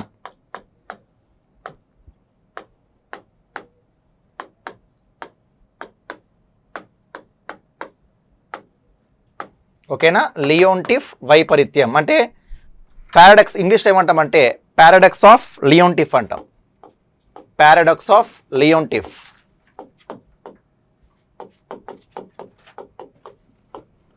okay Leontief వైపరీత్యం so ఇక్కడ లియోంటిఫ్ వైపరీత్యం అంటే మనం దీన్ని ఎలా డిఫైన్ చేస్తామంటే మనం ఆల్రెడీ ఇంత ముందుకు ఒక అంతర్జాతీయ వ్యాపార సిద్ధాంతాలలో ఒక సిద్ధాంతం చెప్పాం. మూడో సిద్ధాంతం. ఏంటి అది ఆధునిక అంతర్జాతీయ వ్యాపార సిద్ధాంతం. మరి ఆధునిక అంతర్జాతీయ వ్యాపార సిద్ధాంతానికి సంబంధించి ఇది దీన్ని ఓక్సార్ హెక్లిన్ ఓకేనా? దీనే మనము హెచ్ఓ ఓకేనా? హెక్సార్ ఓహ్లిన్ సిద్ధాంతం అని కూడా అని పిలుస్తాం అది కూడా మీకు చెప్పేసా దీన్నే two into two into two మోడల్గా కూడా మనం పిలుస్తాం. ఓకేనా? మరి ఇక్కడ ఈ ఆధునిక అంతర్జాతీయ వ్యాపార సిద్ధాంతం ఏం చెప్తుందంటే మూలధన వస్తువులను అంటే మూలధన సాంద్రత పద్ధతులను అధికంగా కలిగిన అమెరికా మూలధన వస్తువులను ఉత్పత్తి చేయకుండా శ్రమ సాంద్రత వస్తువులను అధికంగా ఉత్పత్తి చేస్తుందట. ఇప్పుడు యాక్చువల్గా ఏంటిది? అభివృద్ధి చెందిన దేశాలు శ్రమ సాంద్రత వస్తు ఉత్పత్తి పద్ధతులు ఉపయోగించి ఆ వస్తువును ఉత్పత్తి చేసి ఎక్కువ ఎగుమతి చేయాలి. అదే అభివృద్ధి చెందిన దేశాలైన అమెరికా వంటి దేశాలు మూలధన సాంద్రత వస్తు ఉత్పత్తి పద్ధతిని ఉపయోగించి ఆ వస్తువును అధికంగా ఎగుమతి చేయాలి. కానీ ఇక్కడ ఈ లియోంటిఫ్ వైపరీత్యం ఏం చెప్తుందంటే యాక్చువల్గా ఇక్కడ అమెరికా అనేది మూలధన సాంద్రత వస్తువులను అధికంగా ఉత్పత్తి చేయాలి.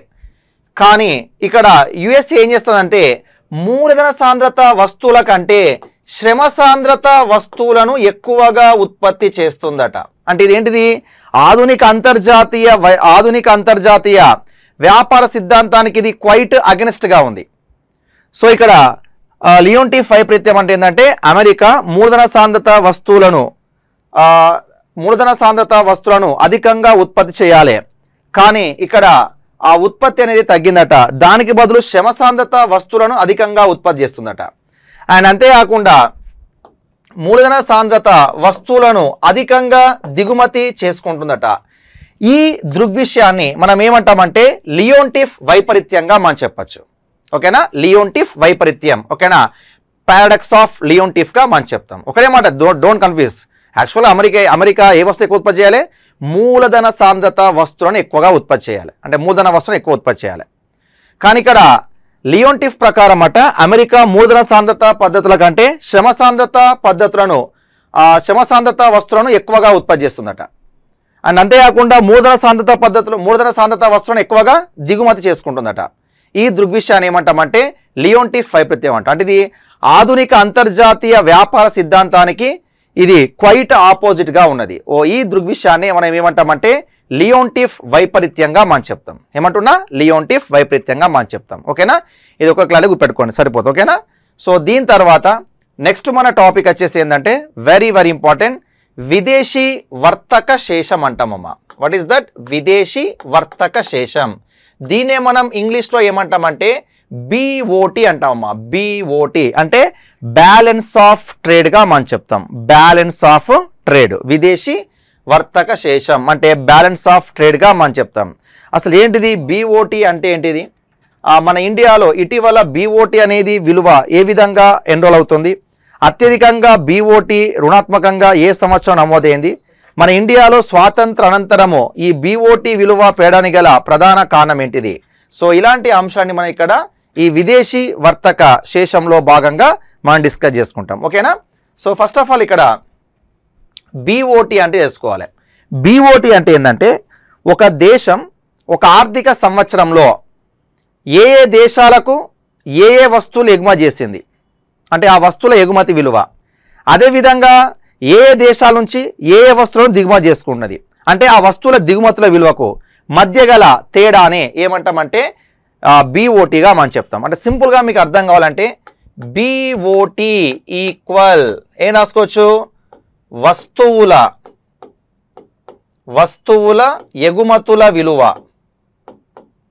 వస్తువుల ఎగుమతుల విలువ మైనస్ వస్తువుల దిగుమతుల విలువ. వస్తువుల దిగుమతుల విలువ. ఓకేనా?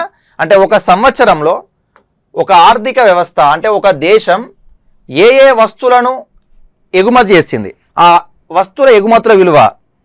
అదేవిధంగా అదే సంవత్సరంలో ఏ ఏ దేశం నుంచి ఏ వస్తువులను దిగుమతి చేసుకున్నది? ఆ దిగుమతుల విలువకు మధ్య గల తేడాను ఏమంటామంటే బీఓటీగా మనం చెప్తాం. అంటే సింపుల్ చెప్పాలంటే BOT balance of trade equal వస్తువుల ఎగుమతుల విలువ మైనస్ వస్తువుల దిగుమతుల విలువ. ఓకేనా? వస్తువుల ఎగుమతుల విలువ ఉంచాలి? వస్తువుల దిగుమతుల విలువ తీసేస్తే మనకేమొస్తట బీఓటీ వస్తుంది. బ్యాలెన్స్ ఆఫ్ ట్రేడ్ అనేది రావటం జరుగుతుంది. బీఓటీ ఓకేనా? ఇది క్లారిటీ పెట్టుకోండి. BOT balance of trade so ఇది మనకు బీఓటీ సంబంధించిన డెఫినేషన్ మరి ఇక్కడ ఈ బీఓటీకి సంబంధించి ఇక్కడ మనం అబ్జర్వ్ చేసినట్లయితే ఈ బీఓటీ అనేది ఇక్కడ కేవలం ఇక్కడ బీఓటీలో ఇప్పుడు మనకు మంచి అండి ఇక్కడ డోంట్ కన్ఫ్యూజ్ మనం సాధారణంగా విదేశీ వాణిజ్యం అంటే ఏం చెప్పా? అంటే వస్తు సేవల ఎగుమతులు దిగుమతులు. అంటే వస్తు సేవల అమ్మకాలు కొనుగోలను విదేశీ వాణిజ్యం అంటాం. ఇక్కడ బీఓటి అనేది కేవలం వస్తువుల విలువను మాత్రమే తెలుపుతుంది. సేవలను పరిగణలోకి తీసుకోదు. ఇది చాలా ఇంపార్టెంట్. ఇది అభ్యర్థి గమనించాలి. ఓకేనా? బీఓటీలో కేవలము వేటి మాత్రమే కన్సిస్తుంది ఇక్కడ? కేవలం వస్తువుల ఎగుమతుల దిగుమ వస్తువుల ఎగుమతులను మరియు దిగుమతులను మాత్రమే కన్సిడర్ చేస్తాం. ఎట్టి పరిస్థితుల్లో దీంట్లో సేవలను కన్సిడర్ చేయరాదు. ఓకేనా? సేవలు చేసి దీంట్లో కన్సిడర్ చేయరాదు. ఇది ఇంపార్టెంట్ ఓకేనా? అంటే బీఓటీలో కేవలం వస్తువుల ఎగుమతుల దిగుమతుల విలువను మాత్రమే పరిగణిస్తారు.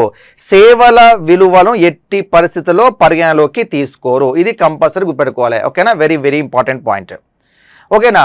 మరి ఇక్కడ మొత్తానికి బీఓటీ అంటే వస్తువుల ఎగుమతుల విలువ మైనస్ వస్తువుల దిగుమతుల విలువ తీసేస్తే మనకు బీఓటీ బ్యాలెన్స్ ఆఫ్ ట్రేడ్ అనేది రావటం జరుగుతుంది. ఓకేనా? విదేశీ వర్తక శేషం అనేది రావటం జరుగుతుంది. బ్యాలెన్స్ ఆఫ్ ట్రేడ్ ఓకేనా? మరి ఇక్కడ ఇక్కడ మనకు మేజర్గా ఈ బీఓటీ అనేది ఆ ఎగుమతుల చూడండి బీఓటీ అనేది ఇక్కడ మనకు ఈ వస్తువుల ఎగుమతులను దిగుమతుల విలువను ఆధారంగా బీఓటీ ఇక్కడ మనకు త్రీ టైప్స్గా ఉంటుంది. ఒకటి ఏంటిదంటే ఒకటి బీఓటీ సమతౌల్యం అంటే సమతౌల్య బీఓటీ అంటాం. బీఓటీ సమతౌల్యం. ఇంకోటి అనుకూల బీఓటీ రెండవది అనుకూల బీఓటీ మూడవది ప్రతికూల బీఓటీ ప్రతికూల బీఓటీ ఓకేనా? ఒకటి బీఓటీ సమతౌల్యం. రెండవది అనుకూల బీఓటి మూడవది ప్రతికూల బీఓటీ అంటే ఎలాగంటే ఫస్ట్ ఆఫ్ ఆల్ ఇక్కడ బీఓటీ సమతౌల్యం అన్న. మరి ఇక్కడ బీఓటి సమతౌల్యం అంటే దీంట్లో ఎలా ఉంటుందంటే వస్తువుల ఎగుమతులు మరియు దిగుమతులు. వస్తువుల ఎగుమతులు మరియు దిగుమతులు రెండు ఎలా ఉంటాయి? సమానంగా ఉంటాయి. ఓకేనా? వస్తువుల ఎగుమతులు మరియు దిగుమతులు రెండు సమానంగా ఉంటే ఓకేనా? రెండు సమానంగా ఉంటే అక్కడ మనకు బీఓటి అనేది సమతౌల్యం ఈక్విలిబ్రియంలో ఉందని అర్థం. రెండవది అనుకూల బీఓటి ఓకేనా? ఫేవరబుల్ బీఓటి అంటాం. అనుకూల బీఓటి అంటే ఏంటంటే వస్తువుల దిగుమతుల కంటే ఓకేనా? వస్తువుల దిగుమతుల కంటే ఎగుమతులు అధికంగా ఉంటాయమ్మా. వస్తువుల దిగుమతుల కంటే ఎగుమతులు అధికంగా ఉంటే అక్కడ మనకు అనుకూల బీఓటీ అనేది ఉంటుంది. ఫేవరబుల్ బీఓటీ మళ్ళీ చెప్తున్నా ఎగుమతులు దిగుమతులు సమానమైతే బీఓటీ సమతౌల్యంలో ఉందని అర్థం. నెక్స్ట్ దిగుమతుల కంటే ఎగుమతులు ఎక్కువైతే అనుకూల బీఓటీ ఉందని అర్థం. నెక్స్ట్ ఎగుమతుల కంటే దిగుమతులు ఎక్కువైతే ఓకేనా? ఎగుమతుల కంటే దిగుమతులు ఎక్కువైతే అక్కడ ప్రతికూల బీఓటీ ఉందని అర్థం. ఓకేనా? ప్రతికూల బీఓటి ఉందని అర్థం. సో ఈ విధంగా ఎగు వస్తువుల ఎగుమతులు దిగుమతుల విలువను ఆధారంగా చేసుకొని ఇక్కడ బీఓటీని మూడు రకాలుగా క్లాసిఫై చేయడం జరిగింది సో ఆ విధంగా బీఓటీ సమతుల్యం అంటే ఎగుమతులు దిగుమతులు రెండు సమానంగా ఉంటాయి. అనుకూల బీఓటీ అంటే దిగుమతుల కంటే వస్తువుల యొక్క దిగుమతుల కంటే వస్తువుల యొక్క ఎగుమతులు ఎక్కువ ఉంటాయి. ప్రతికూల బీఓటీ అంటే వస్తువుల యొక్క ఎగుమతుల కంటే వస్తువుల యొక్క దిగుమతులు అనేవి ఎక్కువగా ఉంటాయి. సో ఇది మీరు క్లారిటీగా అబ్జర్వ్ చేయాలి. మరి ఇక్కడ మన ఇండియాని గనక పరిశీలించినట్లయితే మన ఇండియాని గనక ఇక్కడ పరిశీలించినట్లయితే పంతొమ్మిది వందల నలభై ఎనిమిది వరకు ఓకేనా? పంతొమ్మిది వందల నలభై ఎనిమిది వరకు మన ఇండియాలో అనుకూల బీఓటి అనేది ఉండేదట ఓకేనా? అనుకూల బీఓటి ఉండేది. అంటే బీఓటీలో ఆల్మోస్ట్ ధనాత్మకత ఏర్పడేది. అంటే ఎగుమతులు ఎక్కువ ఉండేవి మన యొక్క వస్తువుల ఎగుమతులు ఎక్కువ ఉండేవి దిగుమతులు తక్కువ ఉండేవి. కానీ స్వాతంత్ర అనంతరం అంటే నైన్టీన్ ఫార్టీ ఎయిట్ అనంతరం. నైన్టీన్ ఫార్టీ ఎయిట్ అనంతరం అంటే స్వాతంత్ర అనంతరం ప్రతికూల బీఓటి అనేది నమోదవుతూ రావటం జరిగింది. ఓకేనా? ప్రతికూల బీఓటి అనేది నమోదవుతుంది. అంటే స్టిల్ ఇన్ ఇండియా మనకు ప్రతికూల బీఓటి అనేది ఎక్కువగా ఉన్నది. కానీ నైన్టీన్ ఫార్టీ ఎయిట్ వరకు ఇండియాలో అనుకూల బీఓటి ఉండేది. స్వాతంత్ర అనంతరం నుంచి మనకు ప్రతికూల బీఓటి అనేది నమోదవుతుంది. అంటే ప్రజెంట్ ఇండియా పరిస్థితి ఏంటిది? మన ప్రజెంట్ ఇండియాలో వస్తువుల ఎగుమతుల కంటే దిగుమతులే మనకి ఎక్కువగా ఉన్నాయి. సో దానివల్లనే మనకి ఇక్కడ ప్రతికూల బిఓటి అనేది నమోదు కావటం జరుగుతుంది. ఇది మీరు అబ్జర్వ్ చేయాలి. సో ఇక్కడ మరి ఇక్కడ మనం అబ్జర్వ్ చేసినట్లయితే ప్రధానంగా ఈ బీఓటీకి సంబంధించి ఇక్కడ మనం అబ్జర్వ్ చేసినట్లయితే ఈ విధంగా మనకు ఉంటుంది. అయితే ఇక్కడ ఒక దేశ ఆర్థిక అభివృద్ధికి స్వల్ప మంచిదండి. ఒక దేశ ఆర్థికాభివృద్ధికి స్వల్ప మోతాదులో ప్రతికూల బీఓటి అనేది దోహదపడుతుందట ఓకేనా? స్వల్ప మోతాదులోని ప్రతికూల బీఓటి అనేది ఒక దేశ ఆర్థికాభివృద్ధికి దోహదపడుతుందట ఎందుకంటే స్వల్ప మోతాదులో ప్రతికూల బీఓటి ఉన్నప్పుడు దాన్ని అనుకూల బీఓటీగా మార్చేందుకు అనేక ప్రయత్నాలు జరుగుతాయట. సో దానివల్ల ఆర్థికాభివృద్ధి జరగడానికి ఆస్కారం ఉంటుంది. కాబట్టి నోట్ అని రాసుకోండి. నోట్ ఏమని రాసుకుంటే ఒక దేశ ఆర్థికాభివృద్ధికి స్వల్ప మోతాదులోని ప్రతికూల బీఓటి ఆవశ్యకం అంటే అవసరం. ఓకేనా? ఒక దేశ ఆర్థిక అభివృద్ధికి స్వల్ప మోతాదులోని ప్రతికూల బీఓటీ అనేది అవసరంగా మనం చెప్తాం. ఓకేనా? కానీ మన ఇండియాలో స్టిల్ ఇప్పటి కూడా ఎలా ఉంటుంది? ప్రతికూల బీఓటీనే ఉంటుంది. ఓకేనా? అది మీరు అబ్జర్వ్ చేయాలి. సో ఒకసారి దీనికి సంబంధించిన డాటాను గనక మనం చూసినట్లయితే ఏ ఏ సంవత్సరాల్లో మనకు ఎంత బీఓటీ అనేది ఏ విధంగా ఉన్నో చూసుకోండి సరే సో రెండు రీసెంట్ ఇయర్స్ రెండు సంవత్సరము ఇదేంటిది? ఎగుమతులు దేంట్లలో? బిలియన్ డాలర్లలో. నెక్స్ట్ దిగుమతులు ఇవి దేంట్లో? ఇవి కూడా బిలియన్ డాలర్లలో. సో వర్తక శేషం అంటే ఏం చెప్పినా ఆ ఎగుమతుల నుంచి దిగుమతులు తీసేస్తే మనకేమొస్తుంది? వర్తక శేషం బిఓటి వస్తుంది. ఓకేనా? ఇప్పుడు చూసుకోండి. రెండు వేల పంతొమ్మిది ఇరవై సంవత్సరంలో ఎగు వస్తువుల యొక్క ఎగుమతుల విలువ ఎంత అంటే three twenty point four billion dollars ఉన్నాయమ్మా. మూడు వందల ఇరవై పాయింట్ నాలుగు బిలియన్ డాలర్లు. ఆ వస్తువుల దిగుమతి విలువ ఎంత ఉన్నదంటే నాలుగు వందల డెబ్బై ఏడు పాయింట్ తొమ్మిది బిలియన్ డాలర్లు. అంటే ఇక్కడ ఎగుమతులు తక్కువ ఉన్నాయి దిగుమతులు ఎక్కువ ఉన్నాయి సో దానివల్ల బీఓటీ ఎలా ఉంటుంది? ప్రతికూల బీఓటీ ఉంటుంది. ఎంతంటే so minus one fifty seven point five billion dollars ఉన్నాయమ్మా. మైనస్ నూట యాభై ఏడు పాయింట్ ఐదు బిలియన్ డాలర్లు ఇక రెండు వేల ఇరవై ఇరవై ఒకటి విషయానికి వచ్చేస్తే ఎగుమ వస్తువుల ఎగుమతుల విలువ two ninety six point three billion dollars దిగుమతుల విలువ three ninety eight point four billion dollars so మొత్తానికి బీఓటీ ఎంత ఉన్నదంటే minus one not two point one అమ్మ. ఓకేనా? మైనస్ నూట రెండు పాయింట్ ఒకటి బిలియన్ డాలర్లుగా నమోదైంది. ఇక పోతే two thousand twenty one twenty టూలో ఓకేనా ఎగుమతుల విలువ four twenty nine point one billion dollars వస్తువుల యొక్క ఎగుమతుల విలువ నాలుగు వందల ఇరవై తొమ్మిది పాయింట్ ఒకటి బిలియన్ డాలర్లు అదే ఇదే కాలానికి వస్తువుల దిగుమతి విలువ ఎంత అంటే ఆరు వందల పద్దెనిమిది పాయింట్ ఆరు బిలియన్ డాలర్లు సో ఇక్కడ దీని నుంచి తీసేస్తే మనకి ఎంత minus one eighty nine point four billion dollars ఉన్నామా? ఓకేనా? మైనస్ నూట ఎనభై తొమ్మిది పాయింట్ నాలుగు బిలియన్ డాలర్లు ఉన్నాయి ఇప్పుడు two thousand twenty one twenty two సంవత్సరం సంబంధించి. Next two thousand twenty two twenty three ఎప్పటి వరకు ఏప్రిల్ టు సెప్టెంబర్ కాలానికి ఓకేనా? ఏప్రిల్ నుంచి సెప్టెంబర్ కాలానికి two thirty four point eight billion డాలర్స్గా ఉన్నది ఎగుమతుల విలువ. ఇక దిగుమతుల విలువ ఎంతంటే three eighty one point three billion dollars ఉన్నది. సో మొత్తానికి minus one forty six point five billion డాలర్స్గా నమోదైంది. ఓకేనా minus one forty six point five billion dollars చూడండి ఇక్కడ. అంటే ఇటీవల two thousand nineteen twenty twenty twenty one twenty one twenty two twenty two twenty three గడిచిన నాలుగు సంవత్సరాల కాలాన్ని కూడా మనం పరిశీలించినట్లయితే మ్యాక్సిమం ఇక్కడ ఎగుమతుల విలువ తక్కువ ఉంటుంది దిగుమతుల విలువ అనేది ఎక్కువగా ఉంటుంది. ఇది మీరు అబ్జర్వ్ చేయాలి. సో ఇటీవల అంటే మొత్తానికి మనకు ఇటీవల గడిచిన అన్ని సంవత్సరాల్లో కూడా బీఓటీ మనకు ఏ రకమైన బీఓటీ అమలైంది ఏ- ఏ ఏ రకమైన బీఓటీ మనకు నమోదైంది? ఎస్ ప్రతికూల బీఓటీ అనేది నమోదు. ఎందుకంటే ఎగుమతుల విలువ తక్కువ ఉన్నది దిగుమతుల విలువ ఎక్కువ ఉన్నది ఫలితంగా ప్రతికూల బీఓటీ ఇక్కడ చూడండి మైనస్ కాబట్టి ఇక్కడ దీని ఏమనొచ్చు? ప్రతికూల బీఓటీ అనేది నమోదు కావటం జరిగింది. సో మన ఇండియాలో హయ్యెస్ట్గా రెండు వేల పన్నెండు పదమూడు సంవత్సరంలో మైనస్ నూట తొంభై ఆరు బిలియన్ డాలర్ల బీఓటీ అని అంటే అత్యధికంగా. ఇండియాలో అత్యధిక ప్రతికూల బీఓటీ నమోదైన సంవత్సరం ఏదంటే రెండు వేల పన్నెండు పదమూడట. సో ఈ రెండు వేల పన్నెండు పదమూడులో మైనస్ నూట తొంభై ఆరు బిలియన్ డాలర్ల ఏంటిది? బిలియన్ డాలర్ల విలువ కలిగిన బీఓటీ ప్రతికూల బీఓటీ అనేది నమోదైంది. కాబట్టి ఇండియా చరిత్రలోనే అత్యధిక ప్రతికూల బీఓటీ నమోదైన సంవత్సరం ఏదంటే ఏం చెప్పాలి? టూ థౌజండ్ ట్వెల్వ్ థర్టీన్ ఎంతంటే? Minus one one ninety six ఓకేనా? Minus one ninety six billion డాలర్లుగా నమోదు కావటం జరిగింది. ఓకేనా? ఇటీవల హైయెస్ట్గా మనకి ఎప్పుడు? Two thousand twenty one twenty గుర్తుపెట్టుకోండి. ఓకేనా? ఇటీవల కాలంలో రెండు రెండు వేల ఇరవై ఒకటి ఇరవై రెండు సంవత్సరానికి మైనస్ నూట ఎనభై తొమ్మిది పాయింట్ నాలుగు బిలియన్ డాలర్ల మనకు ప్రతికూల బీఓటీ అనేది నమోదు కావటం జరిగిందమ్మా. సో ఇది కొద్దిగా క్లారిటీ గుర్తుపెట్టుకోండి ఓకేనా? సో ఇది మనకు బీఓటీ ఓకేనా? బ్యాలెన్స్ ఆఫ్ ట్రేడ్ అంటే ఏంటిది? ఆ సమతౌల్య బీఓటీ అంటే ఏంటిది?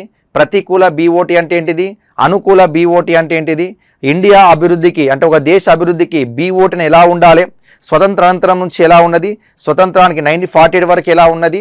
సో ఇవన్నీ మనము దీంట్లో డిస్కస్ చేసుకున్నాం. అండ్ ఇటీవల నమోదైన బీఓటీ దాని యొక్క వాల్యూస్ ఏ విధంగా ఉన్నదో మనం ఇక్కడ డిస్కస్ చేసుకున్నాం. సో ఇప్పుడు దీని తర్వాత నెక్స్ట్ మనం పరిశీలించినట్లయితే పంతొమ్మిది వందల యాభై నుంచి గమనిస్తే భారతదేశ వర్తక శేషంలో రుణాత్మకత పెరుగుట గల కారణాలు ఓకే, అర్థమవుతుంది ఇక్కడ. పంతొమ్మిది వందల యాభై నుంచి గమనిస్తే భారతదేశ బీఓటీలో రుణాత్మకత పెరుగుటకు గల కారణాలు. ఎందుకు? నెగిటివిటీ ఇక్కడ చూడండి ఇటీవల చూసా కదా. రుణాత్మకత పెరుగుట పెరుగుట అంటే మీనింగ్ ఏంటిది? వస్తువుల ఎగుమతుల విలువ కంటే వస్తువుల దిగుమతుల విలువ ఎక్కువ ఉంటే దానివల్ల ఏమైతే మనకు? రుణ బీఓటీలో రుణాత్మకత అనేది ఎక్కువగా ఉంటుంది. అంతే కదా? వస్తువుల ఎగుమతుల విలువ కంటే వస్తువుల దిగుమతుల విలువ ఎక్కువగా ఉంటే బీఓటీలో రుణాత్మకత అనేది ఎక్కువగా నమోదవుతుంది. సో అలా పంతొమ్మిది వందల యాభై నుంచి మన ఇండియాలో బీఓటీలో రుణాత్మకత ఎందుకు పెరుగుతుంది? దానికి గల కారణాలు ఇక్కడ మనము విశ్లేషిస్తాం. సో అలా చూసినట్లయితే ఇది సైడింగ్ అమ్మ ఓకేనా? అలా చూసినట్లయితే దీనికి అనేక కారణాలు ఉన్నాయి. సో ఒక్కొక్క కారణం ఇక్కడ మనము క్లారిటీగా డిస్కస్ చేసుకుంటాం. సో ఫస్ట్ వన్ వచ్చేసి ఏంటంటే స్వాతంత్ర అనంతరం స్వాతంత్ర అనంతరం ఇండియా ఆహార ధాన్యాల కొరతను ఎదుర్కొంది. సో ఈ ఆహార ధాన్యాల కొరతను అధిగమించేందుకు ఇతర దేశాల నుంచి ఎక్కువ మొత్తంలో ఆహార ధాన్యాలు ఏం చేసుకున్నది?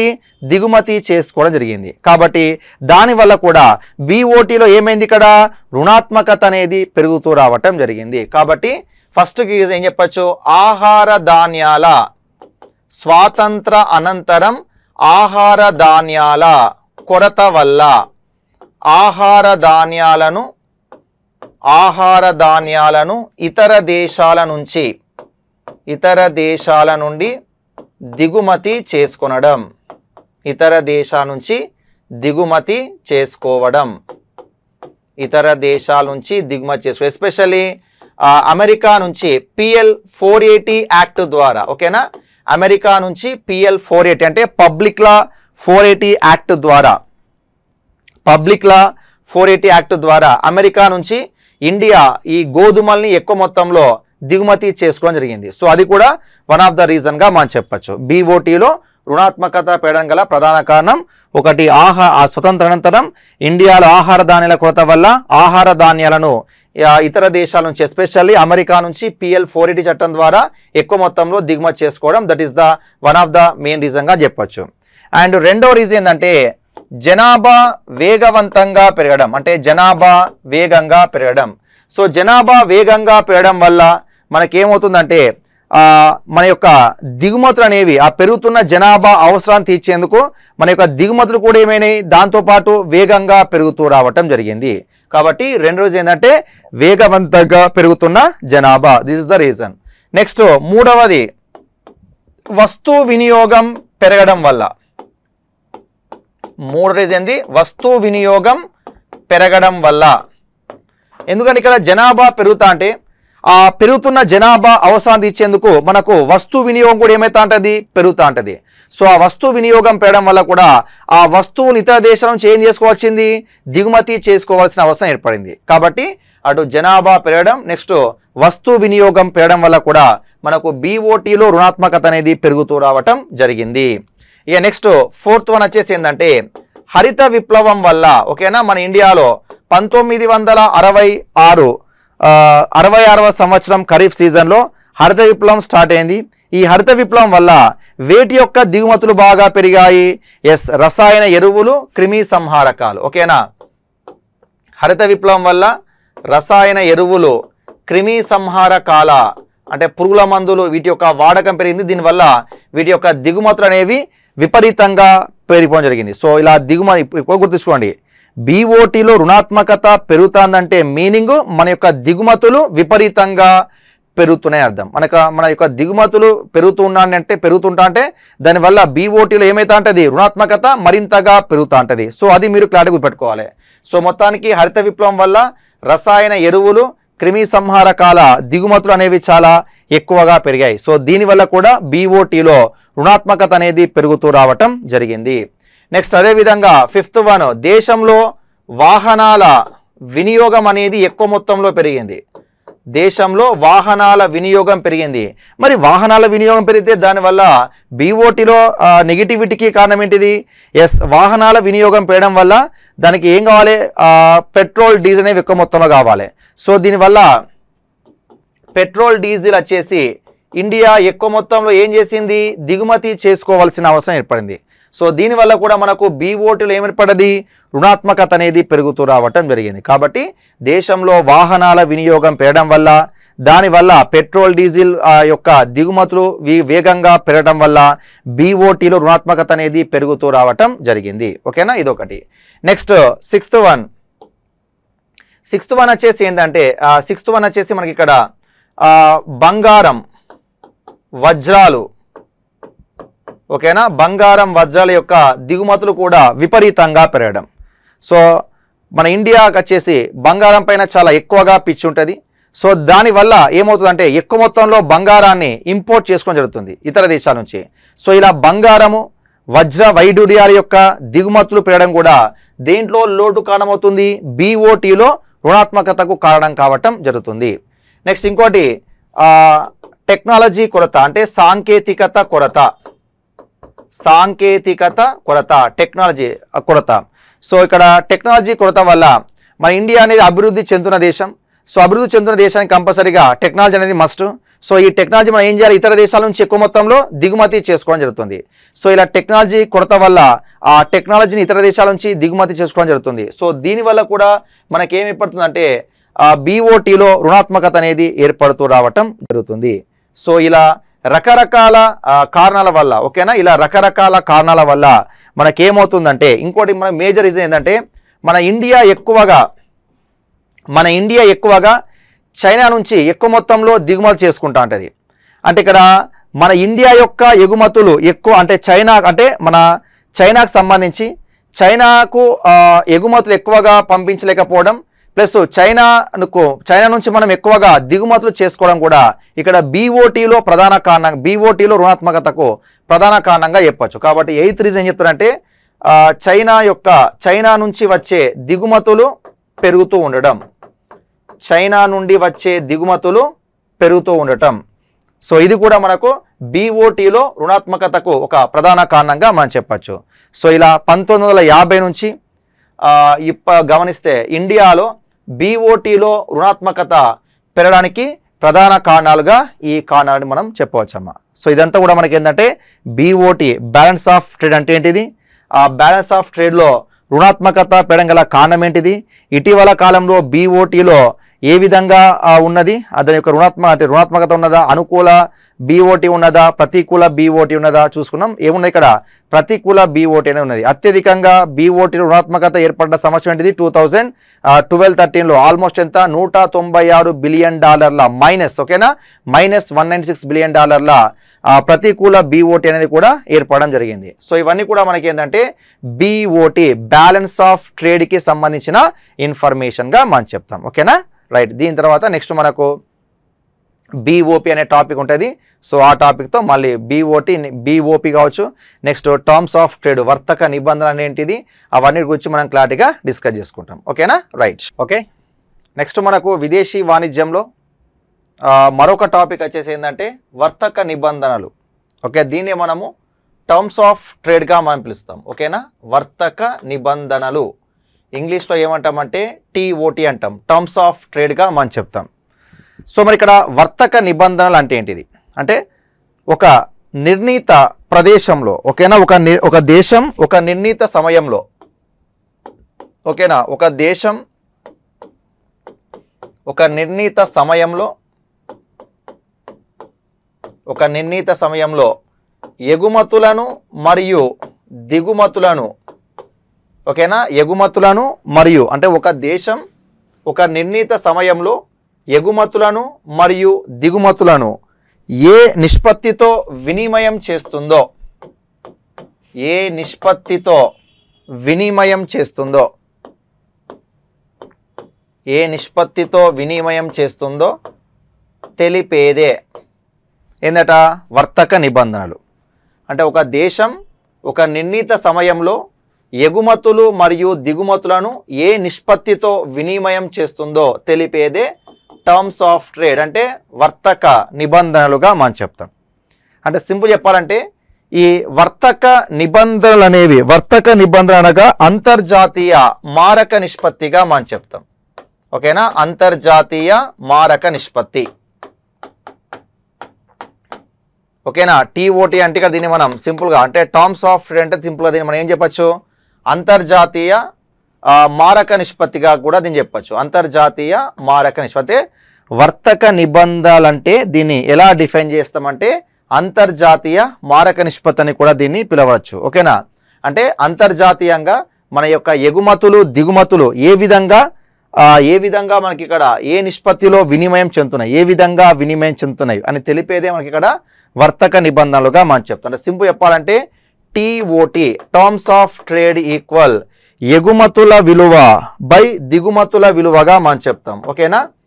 ఎగుమతుల విలువ బై దిగుమతుల విలువ.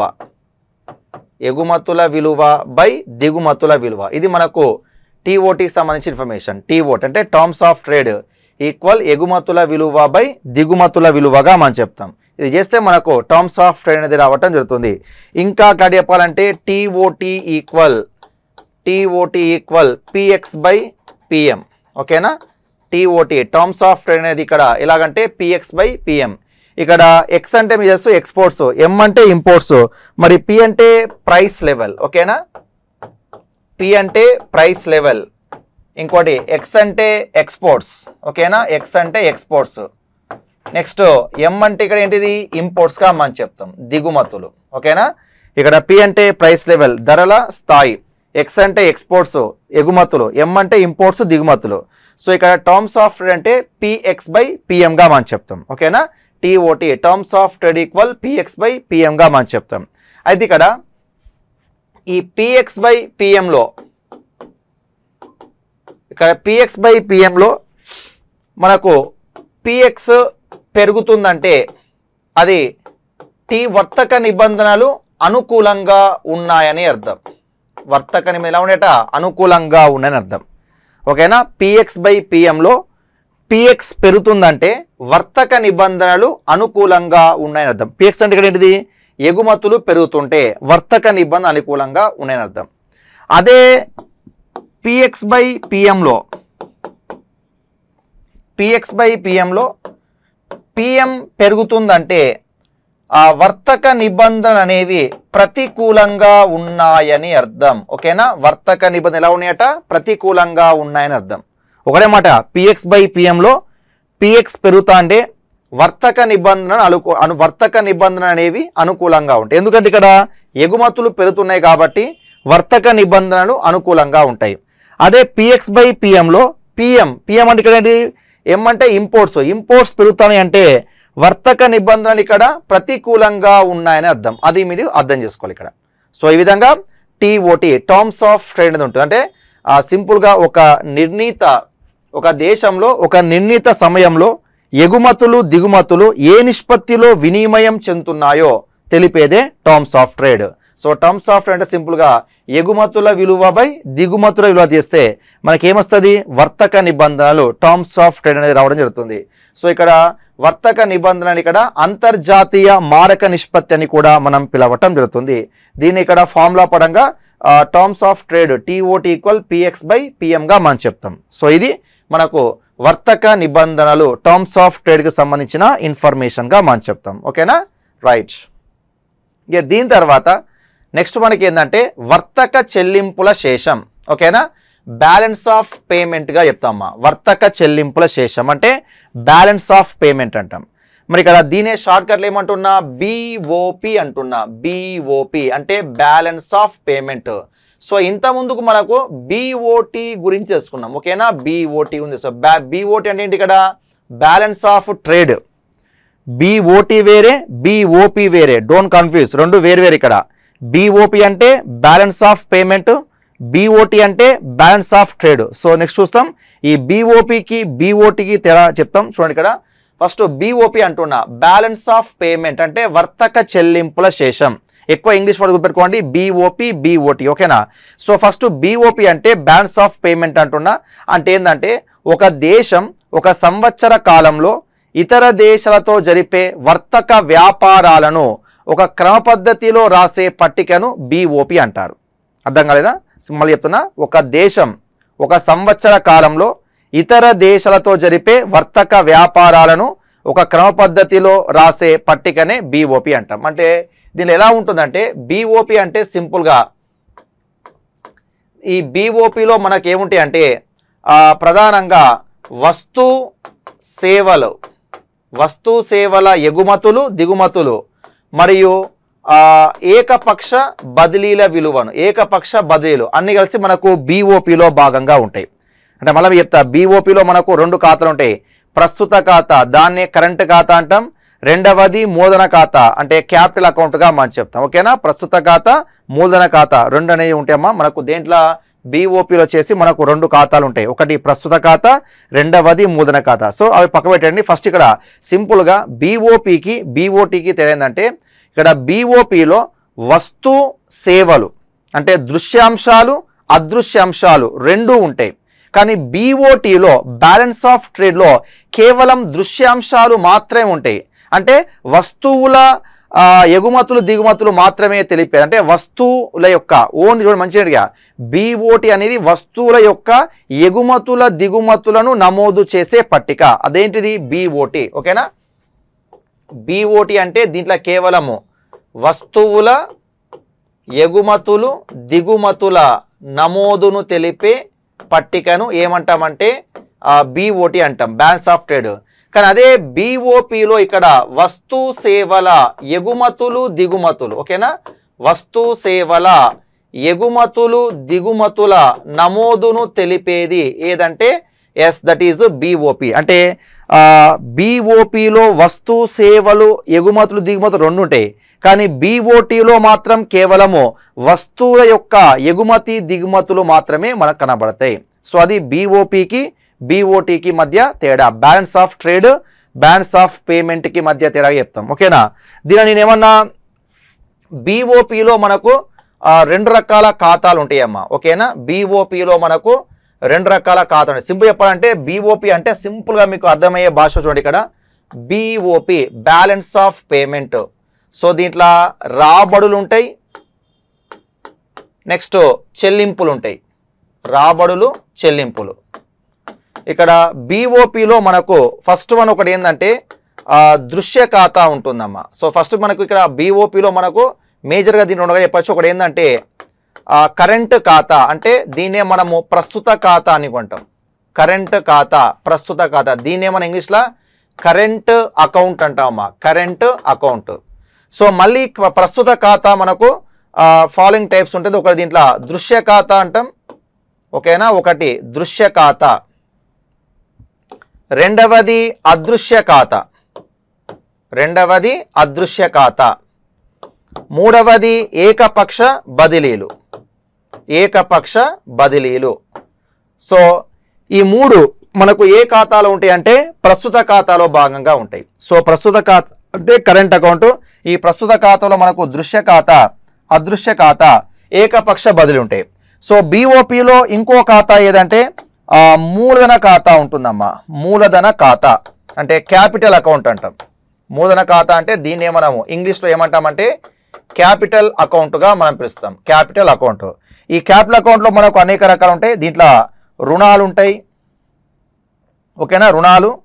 నెక్స్ట్ నెక్స్ట్ వచ్చేసి మనకు రుణాలతో పాటు ఇంకేముంటాయి అంటే విదేశీ పెట్టుబడులు ఓకేనా? రుణాలు విదేశీ పెట్టుబడులు. సో ఇలాంటివి మనకు మూలధన ఖాతా ఇంకా మీకు ఇంకా చాలా ఉంటాయి అవి జస్ట్ మీకు ఐడియా కోసం చెప్తున్నాను ఇక్కడ. జస్ట్ బీఓపి అంటే దాని యొక్క స్ట్రక్చర్ ఈ విధంగా ఉంటుంది. ఓకేనా? బ్యాలెన్స్ ఆఫ్ పేమెంట్ అంటే మనకి ఇక్కడ దీనిలో ప్రధానంగా మనకు కనబడేది రెండు ఖాతాలు ఉంటాయి. ఒకటి ప్రస్తుత ఖాతా దీన్నే కరెంట్ అకౌంట్ అంటాం. రెండవది మూలధన ఖాతా దీన్నే క్యాపిటల్ అకౌంట్ అంటాం. మళ్ళీ ఇక్కడ ప్రస్తుత ఖాతాలో మనకు దృశ్య ఖాతా ఉంటుంది అదృశ్య ఖాతా ఉంటుంది ఏకపక్ష బదిలీలు ఉంటాయి. సో ఇక్కడ చూడండి మూలధన ఖాతాలో ఎగ్జాంపుల్ రుణాలు విదేశీ పెట్టుబడులు ఇలా రకరకాలు ఉంటా ఉంటాయి సో అని చెప్తా అంటాం సో ఫస్ట్గా చూడండి ప్రస్తుత ఖాతా అంటున్నా. ప్రస్తుత ఖాతా అంటే దీంట్లో మనకు దృశ్య ఖాతా ఉంటుందమ్మా. ప్రస్తుత ఖాతాలో ఒక అంశం ఏంటంటే దృశ్య ఖాతా ఉంటుంది. దృశ్య ఖాతా చూడండి పేరునే దృశ్య ఖాతా అంటే కంటి కనిపించేవి. ఇక్కడ కంటి కనిపించేవి అంటే వస్తువులు ఉంటాయి వస్తువులు. అంటే వస్తువుల ఎగుమతులు దిగుమతులు అనేవి మనకు దృశ్య ఖాతాలో చేర్చబడతాయి. అంటే ఇక్కడ దీన్నే మనము సింపుల్గా బీఓటి అనవచ్చా? ఎస్ అనవచ్చు. ఎందుకంటే బీఓటీ అనేది వస్తువుల ఎగుమతుల దిగుమతులను నమోదు చేసే పట్టిక. ఏంటిది? బీఓటీ కాబట్టి దృశ్య ఖాతాని ఇక్కడ మనం ఏమనొచ్చు? బీఓటీ అనొచ్చు. అంటే బ్యాలెన్స్ ఆఫ్ ట్రేడ్ అనొచ్చు. ఇక్కడ దీన్ని బట్టి మీకు అర్థమైంది. అంటే బీఓటీ అనేది బీఓపీలో ఒక భాగం అని అర్థం. అర్థమైంది ఇక్కడ? బీఓటీ అనేది బీఓపిలో ఒక భాగం అని అర్థం. ఇది మీరు అబ్జర్వ్ చేయాలి.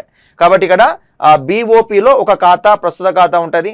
ఆ ప్రస్తుత ఖాతాలో ఒక ఖాతా దృశ్య ఖాతా ఉంటుంది. అంటే ఇక్కడ ప్రస్తుత ఖాతా అంటే దృశ్య ఖాతా ప్లస్ అదృశ్య ఖాతా ప్లస్ ఏకపక్ష బదిలీలు.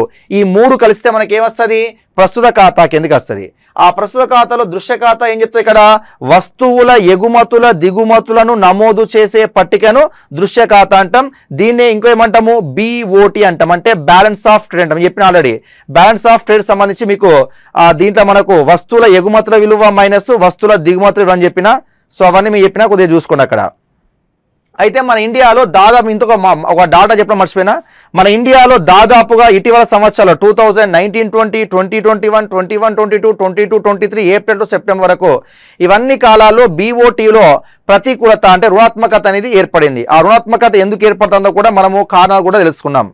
సో ఇక్కడ కానీ ఇక్కడ కొన్ని సందర్భాల్లో బీఓటీలో పంతొమ్మిది వందల డెబ్బై రెండు డెబ్బై మూడులో నెక్స్ట్ పంతొమ్మిది వందల డెబ్బై ఆరు డెబ్బై ఏడులో ఈ రెండు సందర్భాల్లో బీఓటీలో మనకు మిగులు అనేది ఏర్పడదట. ఇది ఒక గుర్తుపెట్టుకోండి ఓకేనా? బీఓటీలో సర్వసాధారణంగా ఎప్పుడు కూడా లోటు ఉంటుంది. ఓకేనా? బీఓటీలో సర్వసాధారణంగా బీఓపి కాదు అని చెప్పేది బీఓటీ డోంట్ కన్ఫ్యూజ్ బీఓటీలో ఎల్లప్పుడూ కూడా సాధారణంగా ఆ నెగిటివిటీ రుణాత్మకత లేదా ప్రతికూలత అనేది ఉంటుంది. కానీ కొన్ని సందర్భాల్లో ఆ రెండు సందర్భాల్లో మాత్రం మనకు బీఓటీలో వచ్చేసి మనకు మిగులు ఏర్పడు ఎప్పుడు స్వాతంత్ర అనంతరం బీఓటీలో రెండు సందర్భాల్లో మిగులు అనేది ఏర్పడ్డది. ఒక ఎప్పుడంటే నైన్టీన్ సెవెంటీ టు సెవెంటీ త్రీలో మళ్ళీ ఇంకోటి ఎప్పుడు నైన్టీన్ సెవెంటీ సిక్స్ సెవెంటీ సెవెన్లో అంటే ఫస్ట్ మనకు నాలుగవ పంచవర్ష ప్రణాళిక అంటే పంతొమ్మిది వందల అరవై తొమ్మిది నుంచి డెబ్బై నాలుగు మధ్య నాలుగవ పంచవర్ష ప్రణాళిక అవుతుంది ఆ నాలుగవ పంచవర్ష ప్రణాళిక కాలంలో ఫస్ట్ టైం ఇండియా బీఓటీలో మిగులు ఏర్పడది. దాని తర్వాత మళ్ళీ ఎగ్జాక్ట్లీ ఫోర్ ఇయర్స్ తర్వాత నైన్టీన్ సెవెంటీ సిక్స్ సెవెంటీ సెవెన్లో అంటే ఐదవ పంచవర్ష ప్రణాళిక కాలంలో మరొకసారి మరొకసారి బీఓటీలో మనకు మిగులు అనేది ఏర్పడ్డది ఓకేనా? ఇది కొద్దిగా క్లారీ గుర్తుపెట్టుకోండి. సో ఈ సందర్భం తప్ప ఇక మిగతా అన్ని సందర్భాల్లో కూడా బీఓటీ ఎలా ఉన్నది? మీ ఆ లోట్ అనేది ఏర్పడది. ఒక ఈ రెండు సందర్భాల్లో మాత్రమే బీఓటీలో మిగులు అనేది ఏర్పడ్డది ఓకేనా? అది గుర్తుపెట్టుకోండి. సో మొత్తానికి దృశ్య ఖాతా అంటే వస్తువుల ఎగుమతుల దిగుమతులకు సంబంధించిన వస్తువుల ఎగుమతుల దిగుమతులకు సంబంధించిన పట్టిక నమోదు చేసే నా వస్తువుల ఎగుమతుల దిగుమతుల నమోదును చేసే పట్టికను ఏమన్నా ఏమంటాం? బీఓటీ అంటాం. ఇక నేను మాట అన్నా ఒకవైపు రాబడులన్నా మరొక వైపు చెల్లింపులన్నా. ఓకేనా? ఇప్పుడు ఫర్ ఎగ్జాంపుల్ వస్తువుల ఎగుమతులు ఏంటి ఇక్కడ? రాబడులు వస్తాయి ఓకేనా? వస్తువుల యొక్క ఎగుమతులు వస్తే మనకి ఏమైతే రాబడులు వస్తాయి అదే వస్తువులను దిగుమతి చేసుకుంటే మనం ఏం చేయాలి? చెల్లింపులు చేయాలి. అంటే కాబట్టి ఆ రాబడులో ఏం రాస్తాం? దృశ్య ఖాతాలో వస్తువుల ఎగుమతులు. అదే చెల్లింపులో ఏం రాస్తాం? వస్తువుల దిగుమతులు. ఎందుకంటే వస్తు వస్తువులను ఎగుమతి చేస్తే మనకు రాబడి వస్తుంది కాబట్టి అందుకనే బీఓపిలో రాబడులలో దృశ్య ఖాతాలో ఏం రాస్తామంటే ఇక్కడ వస్తువుల ఆ, రాస్తామా? వస్తువుల ఎగుమతులు. అది ఇక్కడ చెల్లింపు ఏం రాస్తాము? వస్తువుల దిగుమతులుగా రాస్తాం. వస్తువుల దిగుమతులు ఓకే జస్ట్ మళ్ళీ మీకు చార్ట్ ఉంటుంది. చార్ట్ క్లారిటీగా నేను ఎక్స్ప్లెయిన్ చేస్తా. కాబట్టి ఇక్కడ రఫ్గా మీకు ఎక్స్ప్లెయిన్ చేస్తున్నా. వాట్ ఈజ్ వాట్ ఇక్కడ? ఓకేనా? సో ఇది దృశ్య ఖాతా దృశ్య ఖాతా అంటే కంటి కనిపించేవి. అంటే ఏం చెప్పాలి? దృశ్య ఖాతాలో కేవలము వస్తువుల యొక్క ఎగుమతులు దిగుమతులకు సంబంధించిన అంశాలు మాత్రమే ఉండడం జరుగుతుంది. దీన్ని ఏమన్నా ఏమంటే ఇంకో పేరుతో బీఓటీ బ్యాండ్స్ ఆఫ్ ట్రేడ్గా కూడా పిలవటం జరుగుతుంది. ఈ రెండోది ఏమంటున్నామా? అదృశ్య ఖాతా అదృశ్య అంటే కంటికి కనిపించవు. కంటికి కనిపించని వాటి ఏమంటాము అదృశ్య ఖాతా అంటాం. ఓకేనా? ఇన్విజిబుల్ ఓకేనా? మరి కంటికి ఏం కనిపించవు? ఎస్ సేవలు అనేవి కంటికి కనిపించవు. అంతే కదా? సేవలు అనేవి కంటికి కనిపించవు. కాబట్టి ఈ అదృశ్య ఖాతాలో మనకేముంటాయి ఇక్కడ? ఎస్ సేవలు అనేవి ఇక్కడ అదృశ్య ఖాతాలో ఉండటం జరుగుతుంది. ఓకేనా? అంటే సేవల యొక్క ఎగుమతులు సేవల యొక్క దిగుమతులు అనేవి మనకు దేంట్లో భాగంగా ఉంటాయి అంటే అదృశ్య ఖాతాలో భాగంగా ఉండటం జరుగుతుంది. ఓకేనా? సేవల యొక్క ఎగుమతులు మరియు దిగుమతులు. ఫర్ ఎగ్జాంపుల్ ఇప్పుడు సేవల ఎగుమతులు అంటే సేవల్ని ఎక్స్పోర్ట్ చేస్తే మనకి ఏమొస్తుంది రాబడి వస్తుంది కాబట్టి రాబడులు ఏం రాస్తాము సేవల ఎగుమతులను రాస్తాం సేవల ఎగుమతులు. అదే చెల్లింపుల్లో సేవల దిగుమతులను రాసుకుంటాం. ఓకేనా? సేవల దిగుమతులు. ఇక్కడ సేవలు అంటే ఏమొస్తాయి? బ్యాంకింగ్ వస్తుంది. పర్యాటకం. ఫర్ ఎగ్జాంపుల్ పర్యాటకం అంటున్నా. ఒక చిన్న ఎగ్జాంపుల్ పర్యాటకం అంటే ఎలా ఉంటుందంటే ఫర్ ఎగ్జాంపుల్ విదేశీ విద్యార్థులు ఇండియాను సందర్శించారు. మంచి అండి. విదేశీ విద్యార్థులు ఇండియాను సందర్శించారు. వాళ్ళు ఏంటి మనకు? దానివల్ల మనకి ఏమొస్తుంది విదేశీ మారక ద్రవ్యం ఆర్జించబడుతుంది. కాబట్టి దాన్ని దేని రాస్తాము రాబడుల కింద రాస్తాం రాబడులు. అదే భారతీయ విద్యార్థుల విదేశీ పర్యటన. అంటే మన ద్రవ్యము విదేశాలకు వెళ్తుంది. కాబట్టి ఏం చెప్తాము? చెల్లింపుల కింద రాస్తాం. ఓకేనా? విదేశీ విద్యార్థుల భారతీయ అంటే ఇండియా సందర్శన అంటే అది రాబడులు. భారతీయ విద్యార్థులు విదేశీ పర్యటన అంటే అది చెల్లింపులు. అలా మనకు ఒక్కొక్క సేవ దాన్ని బట్టి అది ఉంటుంది. ఫర్ ఎగ్జాంపుల్ ఇంకా ఇంకా మనం ఎగ్జాంపుల్ తీసుకున్నట్లయితే ఫర్ ఎగ్జాంపుల్ ఇంకా అంటే చాలా ఉంటా అంటే ఇంకా దీనికి కొన్ని ఎగ్జాంపుల్ చెప్తున్నా. సేవలు అంటే ఇక్కడ మనకు బ్యాంకింగ్ వస్తా ఉంటాయి ఎగ్జాంపుల్స్ పర్యాటకం వస్తా ఉంటుంది ఓకేనా నెక్స్ట్ బ్యాంకింగ్ రియల్ ఎస్టేట్ పర్యాటకము. సో ఇలా డిఫరెంట్ డిఫరెంట్ ఉంటాయి. అవన్నీ మీకు ఏం ఏంటియో అవన్నీ క్లారిటీగా నేను డిస్కస్ చేస్తా అంట ఓకేనా?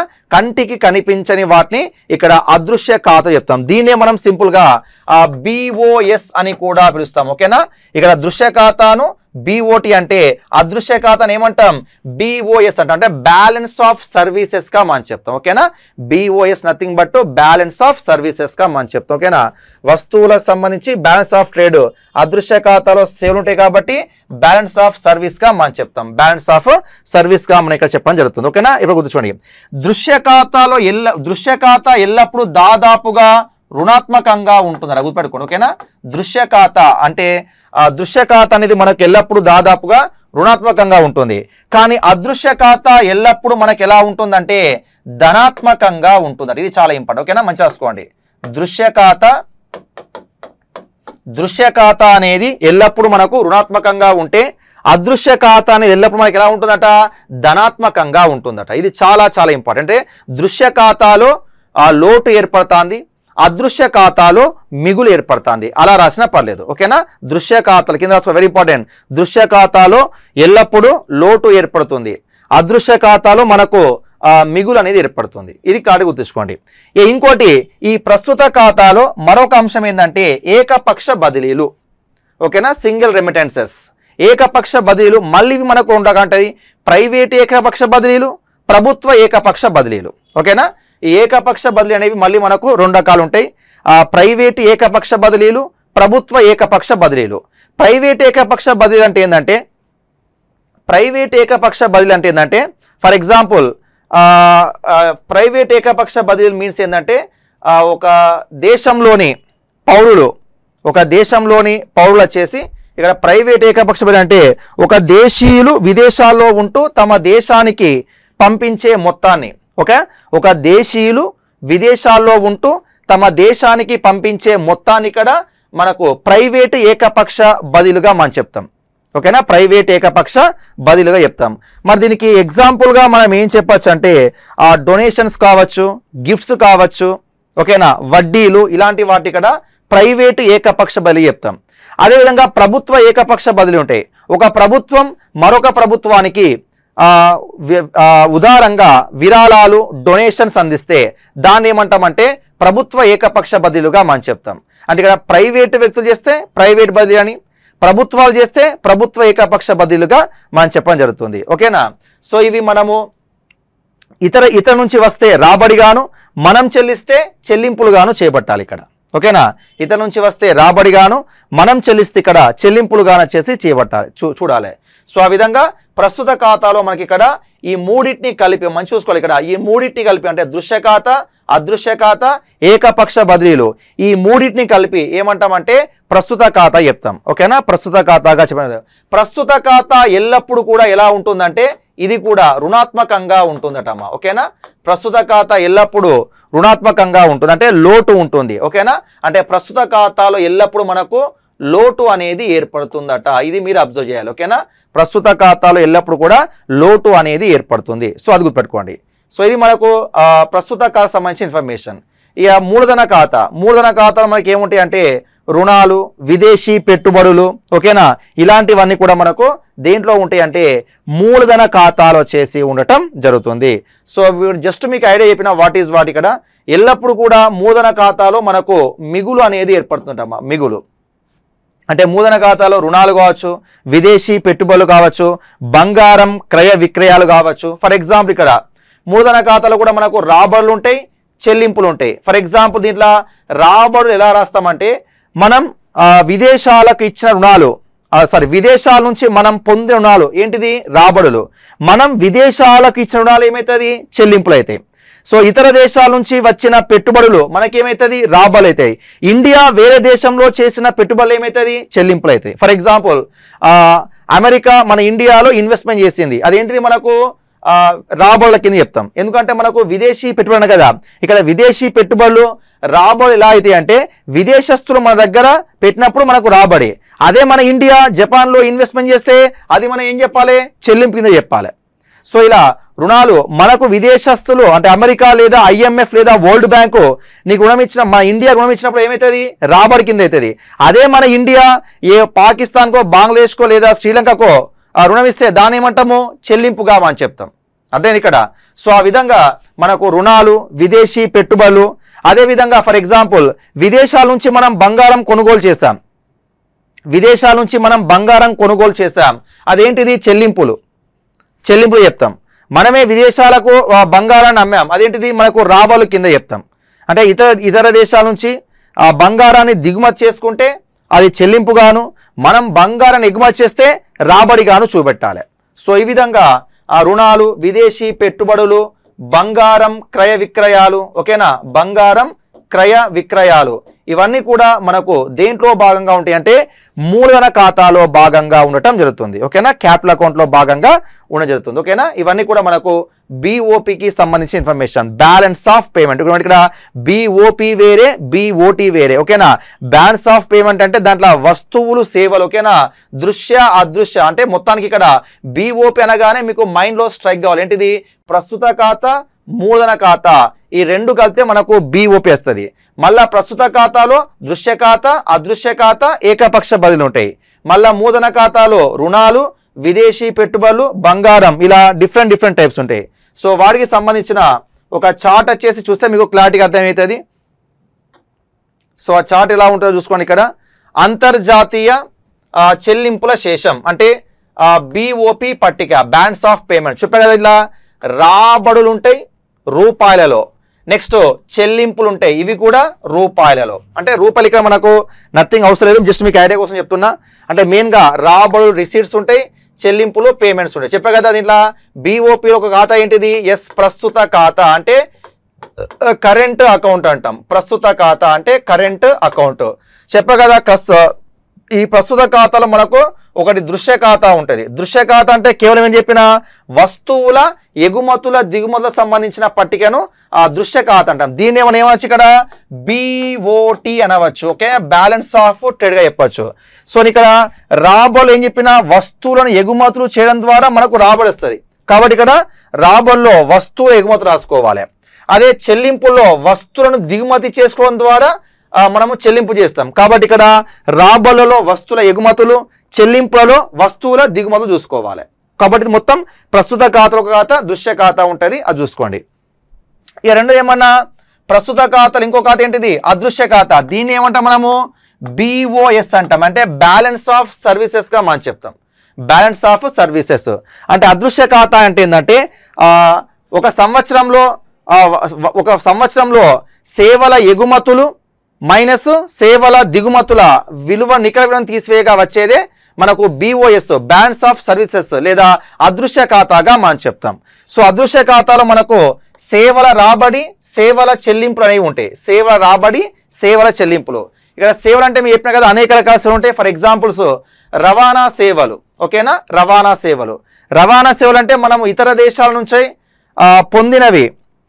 ఇతర దేశాలకు మనము చే- ఇక్కడ డిఫరెంట్ మనకు ఇక్కడ రవాణా సేవ అనేవి మనం ఇస్తా అంటాం వాళ్ళు మనకి ఇస్తా అంటారు. ఇలా రాబడి ఉంటుంది చెల్లింపు ఉంటుంది. అలా చూసుకోవాలి. రెండవది బ్యాంకింగ్ సేవలు. సో బ్యాంకింగ్ సేవలు. మూడవది బీమా సేవలు. ఓకేనా? బీమా సేవలు. నాలుగవది సినిమా అద్దెలు. ఐదవది సాఫ్ట్వేర్ సేవలు.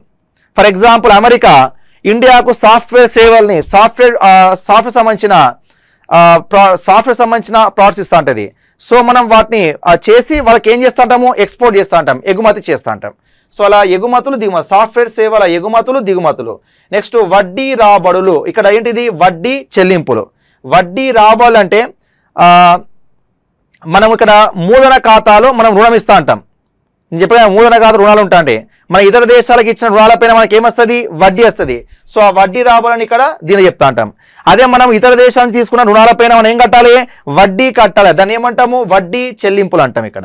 కాబట్టి వడ్డీ రాబడులు ఈ రా రాబడి కింద చేసుకోవాలి చెల్లింపులో వడ్డీ చెల్లింపు చేసుకోవాలి నెక్స్ట్ లాభాలు మరియు డివిడెండ్లు. ఓకేనా? లాభాలు మరియు డివిడెండ్లు. ఇవన్నీ మీకు లాభ డివిడెండ్స్ అనేవి మీకు పన్నుల్లో క్లారిటీ చెప్పేసా చూసుకోండి అక్కడ. డివిడెండ్స్. ఓకేనా? నెక్స్ట్ వేతనాలు. ఓకేనా? వేతనాలు. నెక్స్ట్ పర్యాటకుల ఖర్చు పర్యాటకుల ఖర్చు. చెప్పు కదా పర్యాటక ఖర్చు అంటే ఇక్కడ ఎలా ఉంటుందంటే ఇక్కడ రాబడి అంటే విదేశీ విద్యార్థులు ఇండియాని సందర్శించినప్పుడు మనకి ఏమొస్తుంది ఆదాయం వస్తుంది. కాబట్టి దాన్ని రాబడి కింద చెప్పాలి. మన భారతీయ విద్యార్థుల విదేశీ పర్యటన అంటే మనం చెల్లించాలి. కాబట్టి ఇక్కడ చెల్లింపు కింద చెప్పాలి. ఇక నెక్స్ట్ ఇతర సేవలు ఓకేనా అదర్ సర్వీసెస్ సో ఇవన్నీ కూడా మనకు అదృశ్య ఖాత ఇవన్నీ కూడా దేనికి సంబంధించినవి? సేవలకు సంబంధించినవి. కాబట్టి మన కంటి కనబడవు కాబట్టి వీటిని అదృశ్య ఖాతాగా మనం ట్రీట్ చేయాల్సి ఉంటుంది. సో దీని తర్వాత చెప్పగదా మనకు ఇక్కడ అబ్జర్వ్ చేసినట్లయితే ఇక్కడ మనకు అదృశ్య ఖాతాలో అదృశ్య ఖాతాలో సేవలు ఉంటాయి. అదే మనకి ప్రస్తుత ఖాతాలో దృశ్య ఖాతా ఉంటుంది అదృశ్య ఖాతా ఉంటుంది. మళ్ళీ ఇక్కడ అదృశ్య ఖాతాలో భాగంగా మనకి ఇక్కడ ఏ బదిలీ అని ఉంటాయి? అంటే ఏకపక్ష చెప్పిన ఇంత చెప్పిన ఏకపక్ష బదిలీలు అంటాం. సో ఏక బ- బదిలీ అంటే ఇక్కడ ఏమొస్తాయంటే కానుకలు ఓకేనా? విరాళాలు. నెక్స్ట్ గ్రాంట్లు ఓకేనా? కాలు కానుకలు విరాళాలు గ్రాంట్లు. సో ఇలా మొత్తం ఇవన్నీ అదృశ్య ఖాతాలో భాగంగా ఉంటాయి. అంటే దృశ్య ఖాతా ప్లస్ అదృశ్య ఖాతా ప్లస్ ఈ బదిలీ కలిపితే మనకి ఏమొస్తుంది ఇక్కడ? ప్రస్తుత ఖాతా నవజడుతుంది ఓకేనా? ప్రస్తుత ఖాతా వస్తుంది. అంటే బదిలీ ఇక్కడ బదిలీ అంటే కానుకలు అంటే కానుకలు విరాళాలు గ్రాంట్లు మనకు వచ్చినవి. అదే మనం ఇతర దేశాలు చెల్లిస్తే ఇక్కడ చెల్లింపులో కింద చెప్పాలి. ఓకేనా? ఇది రాబడులు కదా. ఇది మనకు వచ్చినవి ఇవి ఇతర దేశాలకు ఇస్తే చెల్లింపులు. అక్కడ ఇవి చెప్పుకోవాలి. కాబట్టి కానుకలు విరాళాలు గ్రాంట్లు. ఇక నెక్స్ట్ వచ్చేసి ఇదంతా కూడా మనకి ఏంటంటే ప్రస్తుత ఖాతా. ప్రస్తుత ఖాతా అనగానే మీకు దృశ్య అదృశ్య ఖాతా మెయిన్. మళ్ళీ అదృశ్య ఖాతాలో ఒక అంశం ఏంటిది? ఏకపక్ష బదిలీ ఉంటాయి లేదా సింపుల్గా ఇలా ఉండి పెట్టుకోండి. దృశ్య ఖాతా అదృశ్య ఖాతా ఏకపక్ష బదిలీ. ఇవన్నీ కలితే మనకి ఏమొస్తుంది ఎస్ ఏమొస్తుందమ్మా? ఆ ప్రస్తుత ఖాతా అనేది రావడం జరుగుతుంది. ఇక దాని తర్వాత మరో ఖాతా ఏంటిది? బీఓపీలో ప్రధానంగా రెండు ఖాతాలు ఉంటాయి. ఒకటి ప్రస్తుత ఖాతా రెండోది ఏమన్నా? మూలధన ఖాతా క్యాపిటల్ అకౌంట్. మూలధన ఖాతాలో మనకు మళ్ళీ సేమ్ రాబడులు ఉంటాయి చెల్లింపులు ఉంటాయి. ఫర్ ఎగ్జాంపుల్ విదేశీ పెట్టుబడులు. ఓకేనా? ఆ విదేశీ పెట్టుబడి అంటే మనకు వచ్చినవి రాబడులు మనం విదేశాల్లో పెట్టినవి చెల్లింపులు. దట్స్ ఎనఫ్ నెక్స్ట్ స్వల్పకాలిక దీర్ఘకాలిక విదేశనాలు అంటే మనం అమెరికా నుంచి కావచ్చు లేదా ఐఎంఎఫ్ నుంచి కావచ్చు లేదా వరల్డ్ బ్యాంక్ నుంచి కావచ్చు మన ఇండియా తీసుకున్న రుణాలు ఇక్కడ రాబల కింద చెప్తాం. అదే మన ఇండియా ఇతర దేశాలకు ఇచ్చిన రుణాలు ఇక్కడ ఏం చేస్తాము? ఇక్కడ చెప్పాలి. విదేశాలకు రుణాలు ఇక్కడ. ఓకేనా క్లారిటీ నెక్స్ట్ బంగారం అమ్మకాలు. మన దేశం ఇతర దేశాలకు బంగారం అమ్మితే అది మనకు రాబడి. కాబట్టి బంగారం అమ్మకానికి రాబడి చెప్పాలి. అదే మనం బంగారం కొనుగోలు ఇతర దేశాల నుంచి కొనుగోలు చేసినప్పుడు మనం ఏం చేయాలి దానికి? చెల్లింపు చేయాలి. కాబట్టి ఇక్కడ బంగారం కొనుగోలు అనేది చెల్లింపులో భాగంగా రాయాలి. నెక్స్ట్ విదేశీ సెక్యూరిటీల అమ్మకం. ఇక్కడ విదేశీ సెక్యూరిటీల కొనుగోలు అంటే ఫారెన్ సెక్యూరిటీస్ని అమ్మడం వల్ల మనకేమొస్తుంది? ఆదాయం వస్తుంది. కాబట్టి రావడం చెప్పాలి. అదే ఫారెన్ సెక్యూరిటీ కొనుగోలు చేయడం వల్ల మన ఏంటది చెల్లింపులు. కాబట్టి ఇక్కడ విదేశీ సెక్యూరిటీ కొనుగోలు అనేది చెల్లింపు చెప్తాం. విదేశీ సెక్యూరిటీల అమ్మకం అనేది రాబడి కింద చెప్పాలి. నెక్స్ట్ విదేశీ మారక ద్రవ్యం అమ్మకం. ఇక్కడ విదేశీ మారక ద్రవ్యం కొనుగోలు. సో ఇక్కడ అమ్మకం వల్ల మనకు ఇన్కమ్ వస్తుంది. కొనుగోలు వల్ల మనం పేమెంట్ చేయాలి. కాబట్టి విదేశీ మారక ద్రవ్య అమ్మకం విదేశీ మారక ద్రవ్యం కొనుగోలు. సో ఇవన్నీ కూడా మనకు దేంట్లో భాగంగా ఉంటాయి అంటే క్యాపిటల్ అకౌంట్. ఓకేనా? మూలధన ఖాతా అంటే దీని ఏమంటే ఇంగ్లీష్లో? క్యాపిటల్ అకౌంట్గా మనం చెప్తాం. Capital account. సో మొత్తానికి మీకు బీఓపి అనగానే రెండు పద ప్రధాన ఖాతాలు గుర్తు రావాలి. ఒకటి ప్రస్తుత ఖాతా కరెంట్ అకౌంట్. రెండవది మూలధన ఖాతా క్యాపిటల్ అకౌంట్. చెప్పే కదా ఆల్వేస్ మూలధన ఖాతాలో ఏముంటుంది? మిగులు అనేది ఏర్పడుతుంది.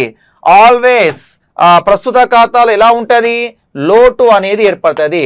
సో ఈ ప్రస్తుత ఖాతాలో ఏర్పడ్డ లోటును మూలధన ఖాతా ద్వారా భర్తీ చేస్తారట.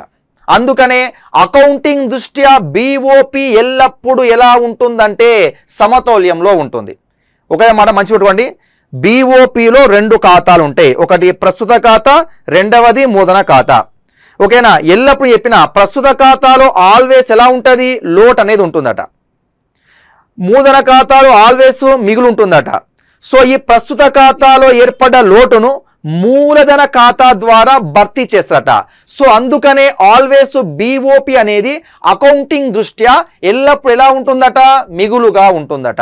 అంటే ఈ ప్రస్తుత ఖాతాలో ఏర్పడ్డ లోటును ఈ మూలధన ఖాతా ద్వారా ఏం చేస్తారు దీంట్లో? ఫర్ ఎగ్జాంపుల్ ఈ రుణాలు పెట్టుబడులు ఇవన్నీ తీసుకొచ్చి దీంట్లో మిగులు చూపెడతారు అన్నట్టు కాబట్టి దీంట్లో ఏర్పడ్డ మిగులును దీనికి దీంట్లో సర్దుబాచడం ద్వారా ఆల్వేస్ మనకు ఎల్లప్పుడూ కూడా బీఓపి అనేది అకౌంటింగ్ దృష్ట్యా ఎల్లప్పుడూ సమానంగా ఉంటుంది. అంటే క్వశ్చన్ ఫర్ ఎగ్జాంపుల్ బీఓపి అనేది అకౌంటింగ్ దృష్ట్యా ఎల్లప్పుడూ సమానంగా ఉంటుంది.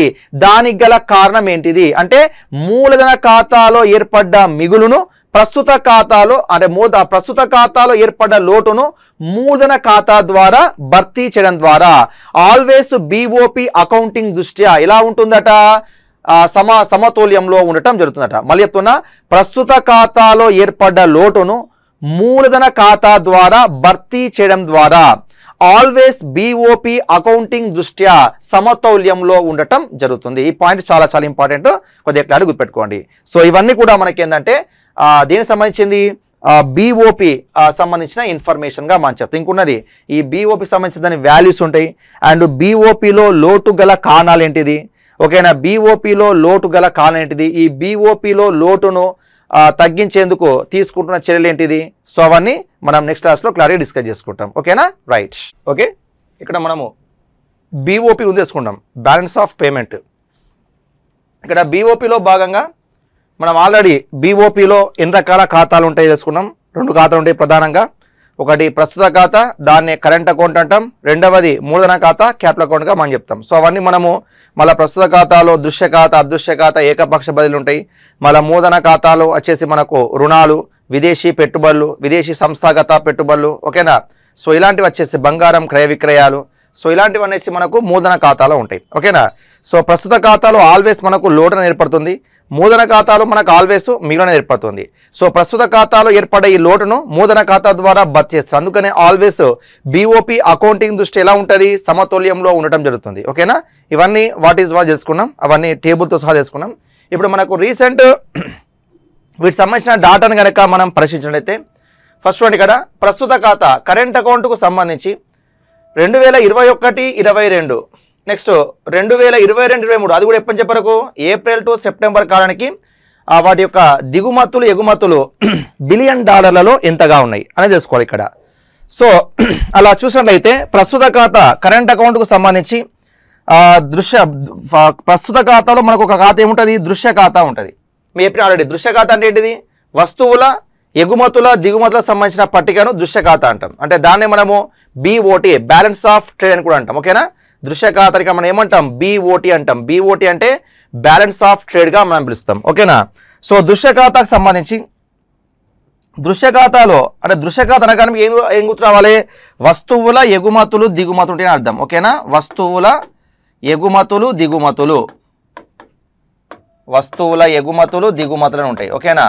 అంటే దీన్నే మనం ఇక్కడ బీఓటీ బ్యాలెన్స్ ఆఫ్ ట్రేడ్గా మనం పేర్కొంటాం. సో అలా చూసినట్లయితే దృశ్య ఖాతాలు ఎగుమతులు. అంటే ఇక్కడ ఎగుమతులు అంటే ఏమను సరే దిగుమతులు. దిగుమతులు అంటే ఏమనుకోవాలి ఇక్కడ? వస్తువు యొక్క దిగుమతి అనుకోవాలి. సో రెండు వేల ఇరవై ఒక్క ఇరవై రెండు సంవత్సరానికి వస్తువు దిగుమతి ఎంత అంటే ఆరు వందల పద్దెనిమిది పాయింట్ ఆరు బిలియన్ డాలర్స్ అట. అదే వస్తువుల యొక్క ఎగుమతులు ఎంత అంటే నాలుగు వందల ఇరవై తొమ్మిది పాయింట్ ఒకటి బిలియన్ డాలర్లు. సో మొత్తానికి దీని నుంచి తీసేస్తే మనకు అంటే ఆ ఎగుమతులు మైనస్ దిగుమతులు తీసేస్తే మనకి ఎంత అంటే minus one eighty nine point four billion dollars ఉంటాయి. ఇప్పుడే కదా మనకు మెయిన్గా బీఓటీ అంటే ఏం చెప్పిన వస్తువుల యొక్క ఎగుమతులు మైనస్ దిగుమతులు. తీసేస్తే మనకు బీఓటీ అంటే విదేశీ వర్తక శేషం. దీన్ని మనం ఏమంటాం? బీఓటీ అంటాం. బ్యాలెన్స్ ఆఫ్ ట్రేడ్ మీకు ఆడ చెప్పిన. సో బీ బీఓటీ ఎలా వస్తుందంటే వస్తువుల యొక్క ఎగుమతుల విలువ మైనస్ వస్తువుల యొక్క దిగుమతుల విలువ తీసేస్తే మనకు విదేశీ వర్తక శేషం అంటే బీఓటీ బ్యాలెన్స్ ఆఫ్ ట్రేడ్ అనేది రావటం జరుగుతుంది. సో ఇక్కడ ఎగుమతుల నుంచి దిగుమతి తీసేస్తే మనకి ఎంత మైనస్ నూట ఎనభై తొమ్మిది పాయింట్ నాలుగు బిలియన్ డాలర్స్ అనేది రావడం చెప్తాం ఓకేనా? మైనస్ నూట ఎనభై తొమ్మిది పాయింట్ నాలుగు బిలియన్ డాలర్లుగా నమోదైంది. ఏంటిది? విదేశీ వర్తక శం ఇప్పుడు కదా?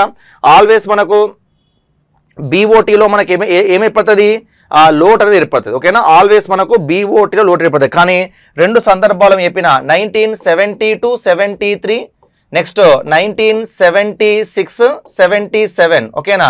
ఈ రెండు సంవత్సరాల్లో మాత్రం బీఓటీలో ఏం ఏర్పడది మిగులు అనేది ఏర్పడది మీకు ఆడ చెప్పిన ఓకేనా? ఈ రెండు సందర్భాల్లో మాత్రము ఇండియాలో ఇండియా చరిత్రలోనే బీఓటీలో మొట్టమొదటిసారిగా మిగులు ఏర్పడ్డ రెండు సంవత్సరాలు ఏవంటే ఈ రెండు. ఒకటి nineteen seventy two seventy three next ఇంకోటి nineteen seventy six seventy seven ఓకేనా? ఈ రెండు పెట్టుకోండి ఇవి తప్ప మిగతా అన్ని ఓకేనా? ఇవి తప్ప మిగతా అన్ని సంవత్సరాల్లో మనకు బీఓటీలో లోట్ అనేది ఏర్పడుతూ రావడం జరిగింది. అంటే ప్రతికూల బీఓటీ అనేది నమోదు కావటం నమోదు అవుతూ రావడం జరుగుతుంది. ఓకేనా? ఇది ట్వంటీ వన్ ట్వంటీ టూలో next twenty two twenty three April to September ఓకేనా? Twenty two twenty three April to September చూసినట్లయితే వస్తువుల యొక్క దిగుమతుల విలువ మూడు వందల ఎనభై ఒకటి పాయింట్ మూడు బిలియన్ డాలర్స్గా ఉన్నది. ఓకేనా? Three eighty one point three billion dollars next ఎగుమతుల విలువ two thirty four point eight billion డాలర్స్గా ఉన్నది. సో ఇక్కడ కూడా మనకు దిగుమతులు ఎక్కువ ఉన్నాయి ఎగుమతులు తక్కువ ఉన్నాయి సో ఫర్దర్గా మొత్తం మనకు ఎంతంటే నూట మైనస్ నూట నలభై ఆరు పాయింట్ ఐదు బిలియన్ డాలర్ల బీఓటీ అనేది ఏర్పడింది. ఓకేనా? బ్యాలెన్స్ ఆఫ్ ట్రేడ్ అనేది ఏర్పడింది. ఓకేనా? ఇక్కడ ట్వంటీ వన్ ట్వంటీలో చూసిన ట్వంటీ టూ ట్వంటీలో చూసిన ఇక్కడ బీఓటీ అనేది మనకు నెగిటివ్గా ఉంటుంది. ఆ విషయం తెలుస్తూ ఒక ఈ రెండు సందర్భ ఈ రెండు సందర్భాలు తప్ప మిగతా అన్ని సందర్భాల్లో బీఓటీలో ప్రతికూలత ఐ మీన్ లోట్ అనేది ఏర్పడుతూ రావటం జరుగుతుంది. ఓకేనా? అది మీరు గొప్ప చేయాలి. సో ఇది మనకు ప్రస్తుత ఖాతాలో ఒక అంశం ఏంటిది? దృశ్య ఖాతాకు సంబంధించిన ఇన్ఫర్మేషన్. ఓకేనా? ప్రస్తుత ఖాతాలో ఒక అంశం ఏంటిది? దృశ్య ఖాతా దృశ్య అంటే ఇక్కడ? కంటికి కనిపించేవి. అంటే ఏంటి? వస్తువుల ఎగు ఎగుమతులు దిగుమతులకు సంబంధించిన దాన్ని మనం ఇక్కడ దృశ్య ఖాతాగా మనం చెప్తాం. ఓకేనా? ఇది ఒకటి నెక్స్ట్. సో నెక్స్ట్ ఇక్కడ దీని తర్వాత చూసినట్టే అదృశ్య ఖాతా అమ్మ ఓకే? నెక్స్ట్ ఏమంటున్నా? అదృశ్య ఖాతా రెండవది. ఓకే? ప్రస్తుత ఖాతాలో మనకు రెండు ప్రధానంగా రెండు అంశాలు ఉంటాయి. ఒకటి దృశ్య ఖాతా రెండవది అదృశ్య ఖాతా మళ్ళీ అదృశ్య ఖాతాలో మనకు బదిలీ చెల్లింపులు ఉంటాయి. సో వాటి గురించి తెలుసుకుంటాం. సో ఇక్కడ రెండోది అదృశ్య ఖాతా అదృశ్య అంటే మనకు కంటికి కనిపించనివి. కంటికి కనిపించినట్టు ఏమొస్తాయి? సేవలు. ఓకేనా? అదృశ్య ఖాతా అంటే ఇక్కడ దీంట్లో కేవలం ఏవి మాత్రం వస్తాయి. సేవలు వస్తాయమ్మా సేవలు. అంటే దీనే మనం ఇక్కడ బీఓఎస్ అంటాం. బ్యాలెన్స్ ఆఫ్ సర్వీసెస్గా మనం చెప్తాం. దృశ్య ఖాతాలు కేవలం వస్తువులు తీసుకుంటే అదృశ్య ఖాతాలో సేవల్ని తీసుకున్నారు ఓకేనా? ఓన్లీ సేవలు. ఓకేనా? దృశ్య ఖాతాలో ఓన్లీ వస్తువులు. అదృశ్య ఖాతాలో ఓన్లీ సేవలు మాత్రమే తీసుకుంటారు. దృశ్య ఖాతాను బీఓటీ అంటాం. బ్యాలెన్స్ ఆఫ్ ట్రేడ్ ఇక్కడ అదృశ్య ఖాతాను ఏమంటాం బీఓఎస్ అంటాం. బ్యాలెన్స్ ఆఫ్ సర్వీసెస్ కామ్ అని చెప్తాం. ఓకేనా? మరి ఇక్కడ అదృశ్య ఖాతాకు సంబంధించిన రీసెంట్ డాటా ఇన్ఫర్మేషన్ మనం చూసినట్లయితే అదృశ్య ఖాతాకు సంబంధించి రెండు వేల ఇరవై ఒకటి ఇరవై రెండు సంవత్సరానికి ఇవన్నీ బిలియన్ డాలర్లలో మొత్తం రాబడులు ఎంతంటే మూడు వందల అరవై తొమ్మిది పాయింట్ ఆరు బిలియన్ డాలర్స్ అట. అంటే సేవలను మనము ఎగుమతి చేయడం ద్వారా మనకు వచ్చిన రాబడి ఇక్కడ. దాన్నే మొత్తం రాబడి అంటాం. అది దాట మూడు వందల అరవై తొమ్మిది పాయింట్ ఆరు బిలియన్ డాలర్లు. నెక్స్ట్ మొత్తం చెల్లింపులు ఎంతంటే? రెండు వందల పద్దెనిమిది పాయింట్ తొమ్మిది బిలియన్ డాలర్లు. ఓకేనా? రెండు వందల పద్దెనిమిది పాయింట్ తొమ్మిది బిలియన్ డాలర్లు. ఇక నికర మిగులు ఎంతంటే? నూట యాభై పాయింట్ ఆరు బిలియన్ డాలర్లు. ఓకేనా? నికర మిగులు నూట యాభై పాయింట్ ఆరు బిలియన్ డాలర్గా నమోదైంది. సో మొత్తానికి two thousand twenty one twenty two సంవత్సరానికి అదృశ్య ఖాతాలో మొత్తం రాబడులు three six nine point six billion dollars మొత్తం చెల్లింపులు payments two eighteen point nine billion dollars ఇక్కడ చూడండి అదృశ్య ఖాతాలో రాబడులు ఎక్కువ ఉన్నాయి చెల్లింపులు తక్కువ ఉన్నాయి సో దానివల్ల నికర మిగులని ఏర్పడుతుంది. ఎంత? నూట యాభై పాయింట్ ఆరు బిలియన్ డాలర్లు అదే మనకు ఆ దృశ్య ఖాతాలో మాత్రం రివర్స్ ఉన్నది. దృశ్య ఖాతాలో వచ్చేసి మనకు ఎగుమతులు తక్కువ ఉన్నాయి దిగుమతులు ఎక్కువ ఉన్నాయి అంటే దానివల్ల మనకు మనకు వచ్చే రాబడులు తక్కువ ఉన్నాయి చేసే చెల్లింపులు ఎక్కువ ఉన్నాయి ఏ ఖాతాలో? దృశ్య ఖాతాలో. అందుకనే దృశ్య ఖాతాలో ఏం ఏర్పడుతుంది? లోటు ఏర్పడుతుంది. కానీ ఇక్కడ అదృశ్య ఖాతాలో మాత్రం రాబోలు ఎక్కువ ఉంటాయి చెల్లింపులు తక్కువ ఉంటాయి సో దానివల్ల మనకు నికర మిగులు అనేది ఏర్పడుతుంది. అందుకే ఒకటే మాట సింపుల్గా బీఓటీలో బీఓటీలో లోటు ఏర్పడితే అదే బీఓఎస్లో మనకు మిగులు అనేది ఏర్పడుతుంది. ఇది గుర్తుపెట్టుకోవాలి. ఓకేనా? ఇది ఆడ చెప్పిన కాకపోతే ఇక్కడ డాటా ప్రకారం మళ్ళీ మీకు క్లారిటీగా అర్థమైపోయింది ఇక్కడ. కాబట్టి బీఓటీలో మనకు లోటు ఏర్పడితే బీఓఎస్లో అంటే బ్యాండ్స్ ఆఫ్ సర్వీస్లలో అంటే ఇక్కడ సింపుల్గా బీఓటీ అన్న మళ్ళీ చెప్తున్నా బీఓటీ అన్న దృశ్య ఖాతా అన్న ఒకటే. ఇక్కడ దృశ్య ఖాతా అడగచ్చు లేదా బీఓటీ అడగచ్చు. కాబట్టి రెండు కన్ఫ్యూజ్ కాదు ఓకేనా? ఏదైనా అదే ఆన్సర్ ఓకేనా? బీఓటీ అన్న బ్యాండ్స్ ఆఫ్ ట్రేడ్ అన్న దృశ్య ఖాతా అన్న ఒకటే. సో బీఓటీలో ఆల్వేస్ ఏం ఏర్పడుతుంది లోటు ఏర్పడుతుంది. అదే బ్యాలెన్స్ ఆఫ్ సర్వీసెస్ అంటే విదే విదేశీ చెల్లింపుల సేవల శేషం అంటాం. ఓకేనా బ్యాలెన్స్ ఆఫ్ సర్వీసెస్ సంబంధించి ఆల్వేస్ బీఓఎస్లో మనకి ఏం ఏర్పడుతుంది మిగులు అనేది ఏర్పడుతుంది. ఓకేనా బీఓఎస్లో మనకు మిగులు ఏర్పడితే బీఓటీలో మనకు లోటు అనేది ఏర్పడుతుంది. ఓకేనా ఇది కొద్దిగా క్లారిటీ గుర్తుపెట్టుకోవాలి. సో ఈ విధంగా రెండు వేల ఇరవై ఒకటి ఇరవై రెండులో మనకు బీఓఎస్లో అంటే అదృశ్య ఖాతాలో మనకి ఇక్కడ నికర మిగులు అనేది ఏర్పడుతుంది. అది మీరు అబ్జర్వ్ చేయాలి. ఓకేనా?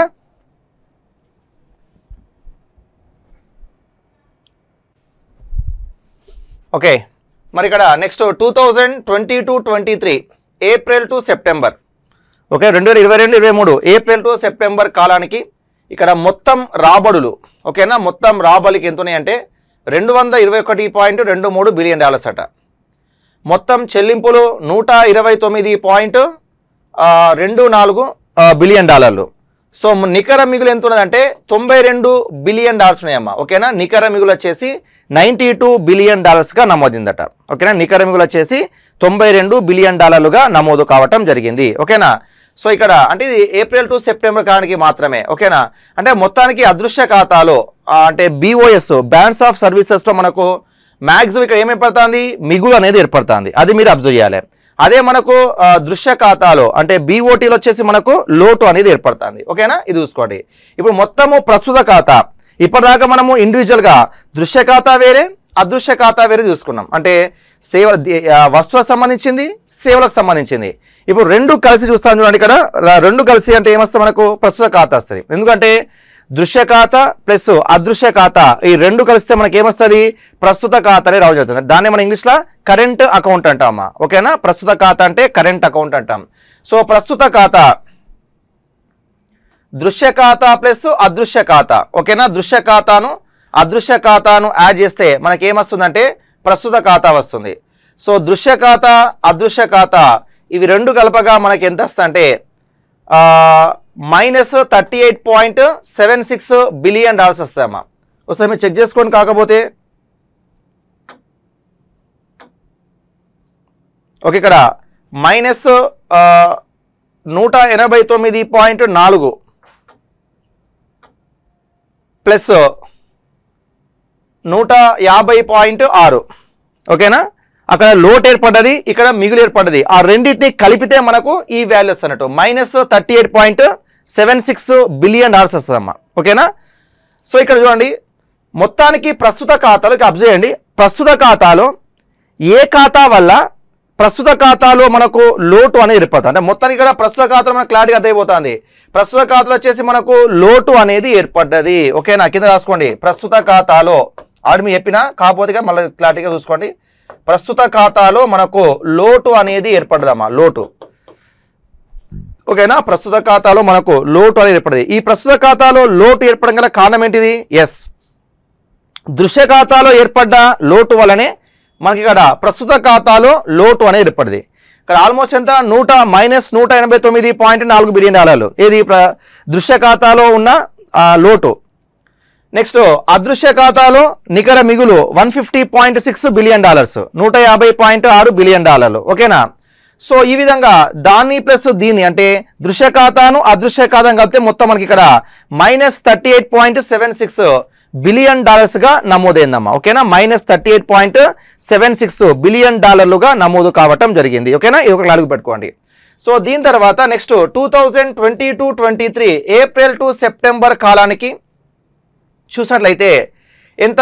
Minus fifty four point five. ఇక్కడ చూడండి నైంటీ టూ. దృశ్యఖాత ఎంత? Ninety two. నెక్స్ట్ అదృశ్య ఖాత ఎంత? Minus one forty six point five. ఓకేనా? Minus one forty six point five. So ఇది వేస్తే మనకి ఏమొస్తుందంటే minus fifty four point five వస్తుంది. సో ఇక్కడ దృశ్య ప్లస్ అదృశ్య ఈ విధంగా మనకు అంటే ఇక్కడ మొత్తానికి మొత్తానికి మనం ఇక్కడ చూసినట్లయితే ప్రస్తుత ఖాతాలో రెండు వేల ఇరవై ఒకటి ఇరవై రెండులో చూసిన రెండు వేల ఇరవై రెండు ఇరవై మూడులో చూసిన లోటు ఏర్పడుతుంది. ఈ ప్రస్తుత ఖాతాలో లోటు ఏర్పడడం గల ప్రధాన కారణం ఏం చెప్పాలి? దృశ్య ఖాతాలో ఏర్పడ్డ లోటు. అదృశ్య ఖాతాలో మనం మిగులు ఏర్పడుతుంది.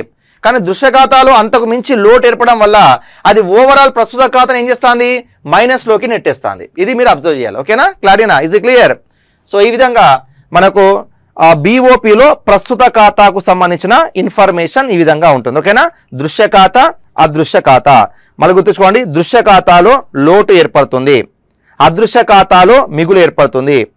సో దృశ్య ఖాతాలో ఎక్కువ మొత్తంలో లోటు ఏర్పడడం వల్ల ఓవరాల్ ప్రస్తుత ఖాతాను కూడా అది ఏం చేస్తుంది? లోటులోకి నెట్టేస్తుంది. సో మొత్తానికి ప్రస్తుత ఖాతా కూడా ఎలా ఉంటుంది?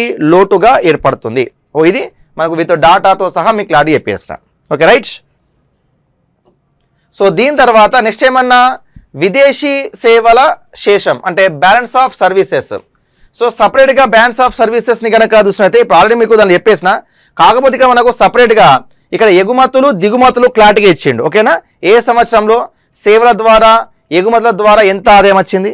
దిగుమతుల ద్వారా ఎంత వచ్చింది? మొత్తానికి బీఓఎస్లో పాజిటివ్ అంటే మిగులు ఉన్నదా లోటు ఉన్నదా దానికి సంబంధించిన ఇన్ఫర్మేషన్ తెలుసుకోవాలి.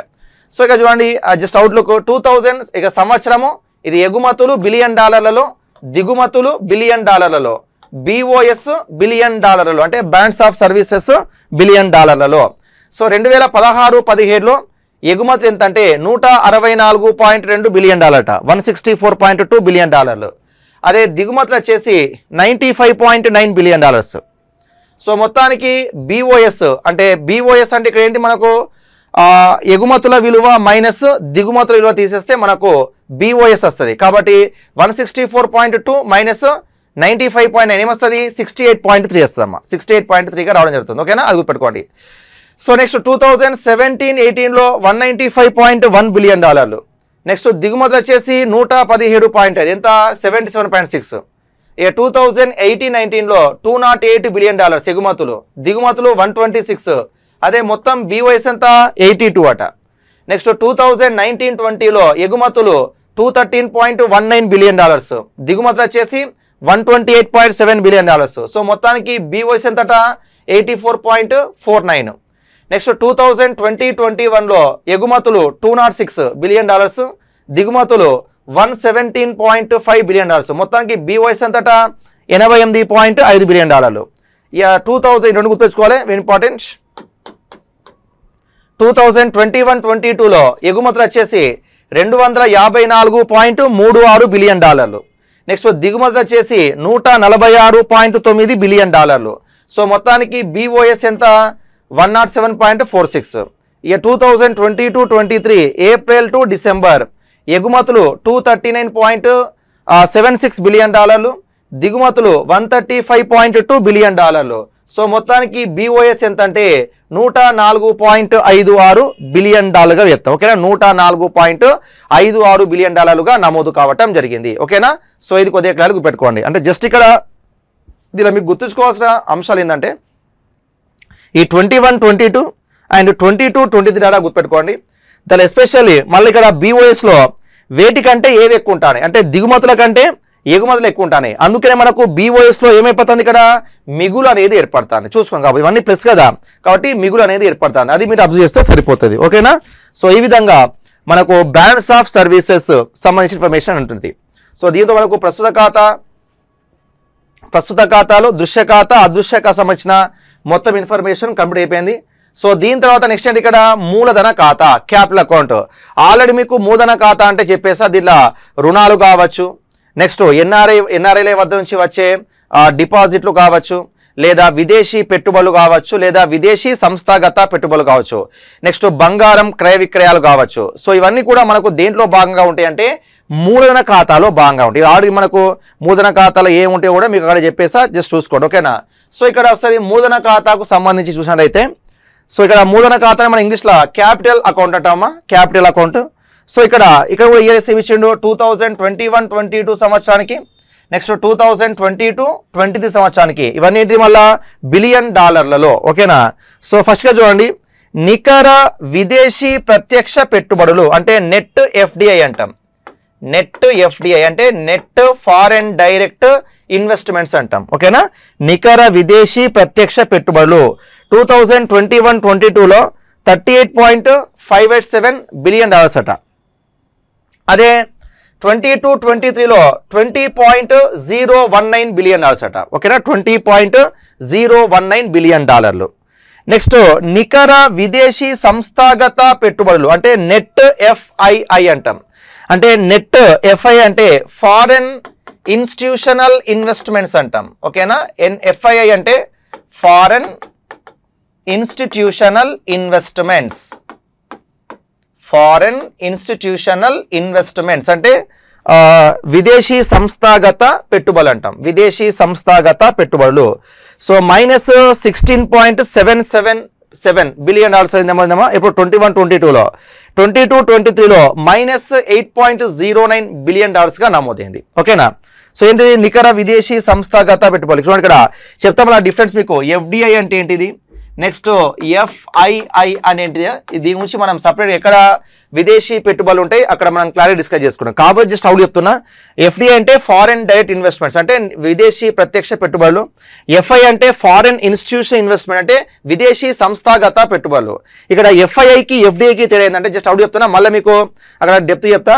ఎఫ్డిఐ అంటే ఒక దేశానికి ఒక దేశానికి సంబంధించిన వ్యక్తులు లేదా సంస్థలు ఇతర దేశాల్లో ఇన్వెస్ట్మెంట్ చేస్తే దాన్ని ఏమంటామంటే ఎఫ్డీ అంటాం. ఫర్ ఎగ్జాంపుల్ జపాన్కు చెందిన ఒక కంపెనీ మన ఇండియాలో ఒక కార్ల కంపెనీ సుజుకి కంపెనీ మన ఇండియాలో ఒక కార్ల కంపెనీ ఏర్పాటు చేసింది. అదేంటిది? ఎఫ్డీఏగా చెప్పచ్చు. అదే విదేశాలకు చెందిన వ్యక్తులు లేదా సంస్థలు మన ఇండియాలోని స్టాక్ మార్కెట్లో ఇన్వెస్ట్మెంట్ చేస్తే దాన్ని ఎఫ్ఐఐ అంటాం. అంటే ఎఫ్ఐఐ పెట్టుబడులు ఓన్లీ స్టాక్ మార్కెట్లకు మాత్రమే పరిమితం కాగా అదే ఎఫ్డీఐ పెట్టుబడుల ద్వారా మనకు కొత్తగా ఒక కంపెనీ రావడానికి ఆస్కారం ఉంటుంది. అదే ఇక్కడ? కాబట్టి ఎఫ్డిఐకి ఎఫ్ఐకి తేడా అది ఇట్లాంటి గుర్తుపెట్టుకోండి. ఓకేనా? సో మళ్ళీ మీకు విదేశీ పెట్టుబడి చెప్పేటప్పుడు ఎఫ్డిఐ అంటే ఏంటిది ఎఫ్ఐ ఏంటిది ఇన్ మనం క్లారిటీ డిస్కస్ చేసుకో ఓకేనా? కాబట్టి ఇక్కడ ఈ వార్డ్ వచ్చింది కాబట్టి ఆ వార్డ్ గురించి just చెప్తున్నా ఓకేనా?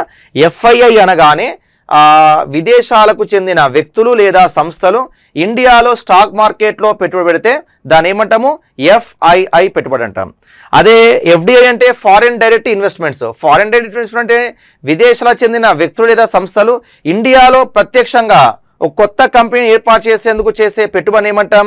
ఎఫ్డిఐ అంటాం. సో ఆ విధంగా ఎఫ్డిఐలు వచ్చేసి ట్వంటీ వన్ ట్వంటీ టూలో ఇండియాకు thirty eight point five eight seven billion dollars వస్తాయి ట్వంటీ టూ ట్వంటీ త్రీలో twenty point zero one nine billion dollars వచ్చింది. అదే ఎఫ్ఐఏలు వచ్చేసి ట్వంటీ వన్ ట్వంటీ టూలో minus sixteen point seven seven billion dollars వస్తే ట్వంటీ టూ ట్వంటీ త్రీలో minus eight point zero nine billion dollars వచ్చినాయమ్మా. మొత్తానికి ఈ రెండు కలిసి ఏమొస్తుంది? నికర విదేశీ పెట్టుబడులు అంటాం. ఓకేనా? నెట్ ఫారెన్ ఇన్వెస్ట్మెంట్ అంటే వన్ ప్లస్ టూ కలితే మనకు నికర విదేశీ పెట్టుబడులు వస్తాయి. సో మొత్తం చూస్తే దీని నుంచి తీసేసి ఎంత? Twenty one point eight zero nine దీని నుంచి తీసేసి ఎంత? లెవెన్ పాయింట్ నైన్ టూ వన్గా ఉన్నది. Eleven point nine two one ఓకేనా సో నెక్స్ట్ ఇంకేమన్నా బహిర్గత రుణాలు ఎక్స్టర్నల్ అసిస్టెంట్స్ అంటాం.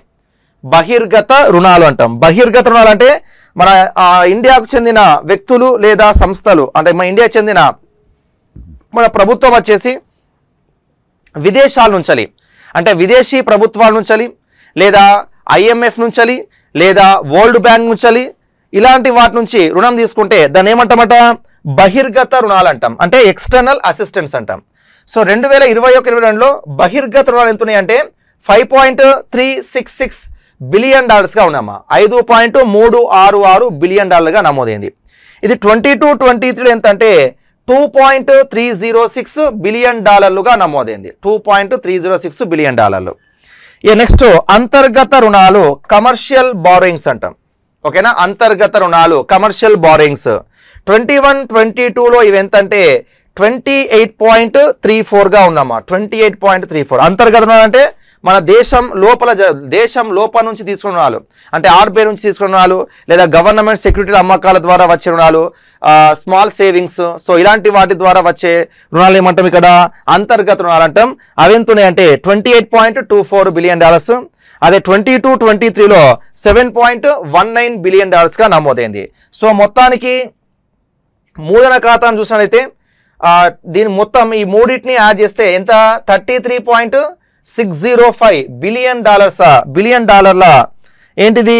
ఆ, మూలధన ఖాతా ద్వారా మనకు మొత్తం రుణాలు వచ్చేసి ఈ విధంగా ఉన్నాయట. ఇవన్నీ మనకు రుణాలు ఇక్కడ పెట్టుబడులు కావచ్చు రుణాలు అంతర్గత రుణాలు ఇవన్నీ వస్తే మొత్తం చూడండి ఇక్కడ. ఈ విధంగా సారీ ఇక్కడ ఇక్కడ నికర విదేశీ పెట్టుబడులు వేరే. ఇక్కడ ఈ మూడు నాలుగు కలితే వీటిని ఏమంటామని ఇక్కడ? రుణాలు అంటాం ఓకేనా? బహిర్గత రుణాలు ప్లస్ అంతర్గత రుణాలు. రెండు కలితే ఏమొస్తుంది? రుణాలు వస్తాయి. సో ఇక్కడ రుణాలు ఎంత ఇవి thirty three point six zero ఫైవ్గా మనం చెప్తాం. Thirty three point six zero five. ఓకేనా?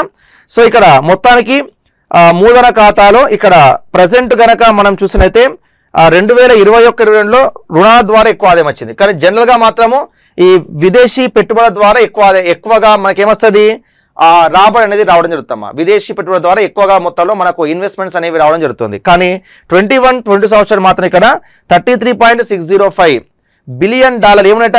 ఓన్లీ రుణాలే. మళ్ళీ అవి అంతర్గత ప్లస్ బహిర్గత కల్పంగా వచ్చే రుణాలుగా మనం చెప్తాం. ఓకేనా? ఇక ట్వంటీ టూ ట్వంటీలో కూడా అదే పరిస్థితి. ట్వంటీ టూ ట్వంటీలో మాత్రమే చూసుకోండి. పెట్టుబడుల ద్వారా ఎక్కువ ఆదాయం వచ్చింది. పెట్టుబడుల ద్వారా. అదే రుణాల ద్వారా తక్కువగా nine point four three five. So మొత్తానికి మనం చూసినట్లయితే మూలధన ఖాతాలో అత్యధికంగా రాబడులు దేని ద్వారా వస్తున్నాయి అంటే ఎఫ్డిఐ ప్లస్ ఎఫ్ఐఐ. ఇది గుర్తుపెట్టుకోవాలి. ఓకేనా?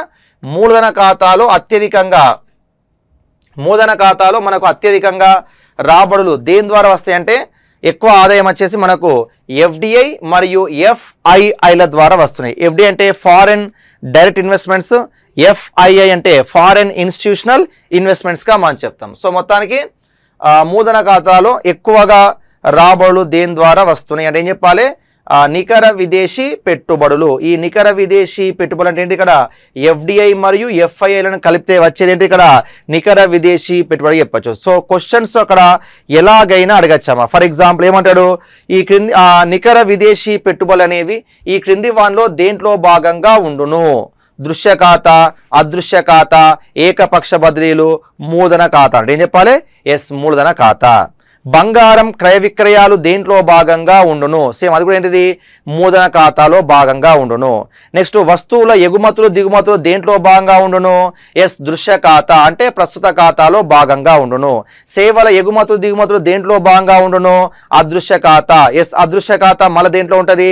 ప్రస్తుత ఖాతాలో భాగంగా ఉండును. సో ఇలా క్లార్ క్లారిటీగా దేనికి దానికి గుర్తుపెట్టుకోవాలి?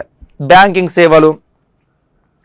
వడ్డీ చెల్లింపులు వడ్డీ రాబడులు విదేశీ పర్యాటకులు.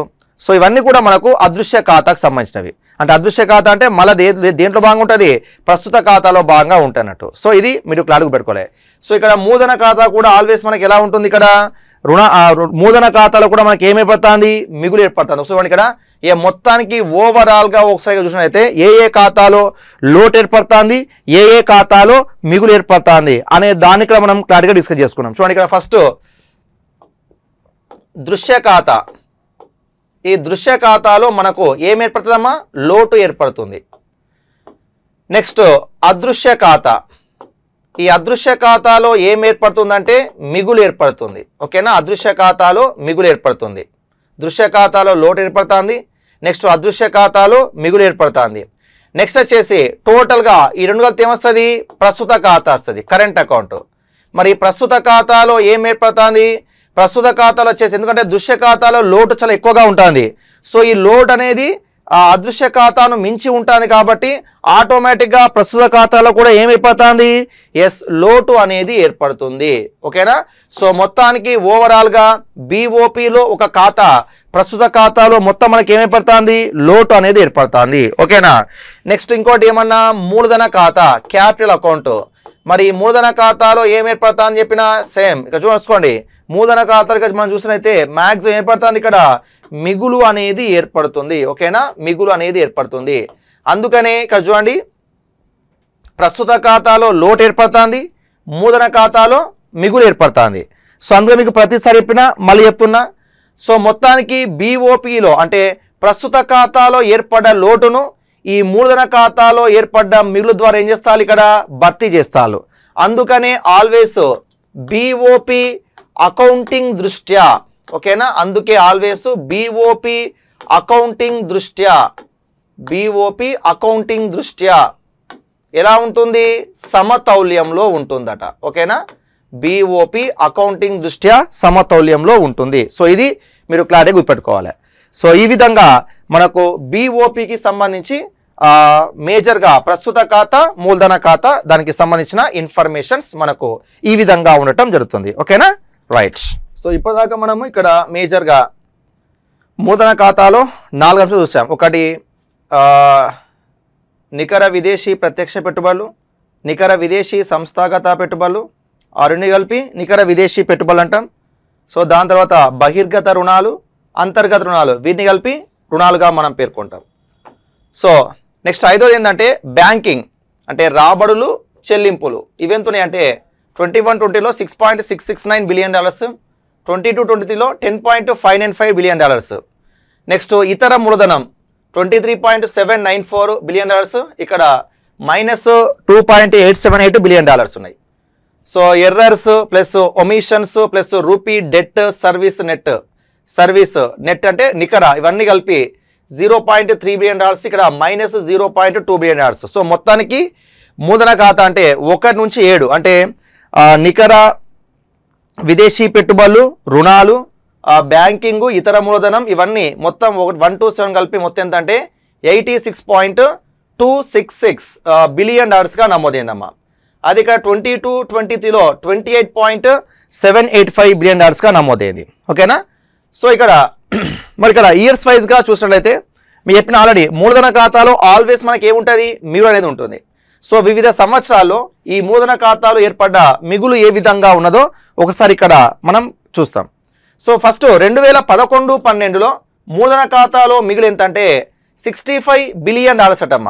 అరవై ఐదు బిలియన్ డాలర్ల మిగులు ఏర్పడదు ఎప్పుడు? టూ థౌజండ్ లెవెన్ ట్వెల్వ్లో నెక్స్ట్ టూ ఇటీవల సంవత్సరాల్లో టూ థౌజండ్ నైన్టీన్ ట్వంటీలో eighty four point one five four billion డాలర్ల మిగులు ఏర్పడదట నైన్టీన్ ట్వంటీలో. నెక్స్ట్ ట్వంటీ ట్వంటీ వన్లో sixty three point three seven five billion డాలర్ల మిగులు ఏర్పడ్డది. నెక్స్ట్ ట్వంటీ వన్ ట్వంటీ టూలో eighty six point two six six billion డాలర్ల మిగులు ఏర్పడ్డది.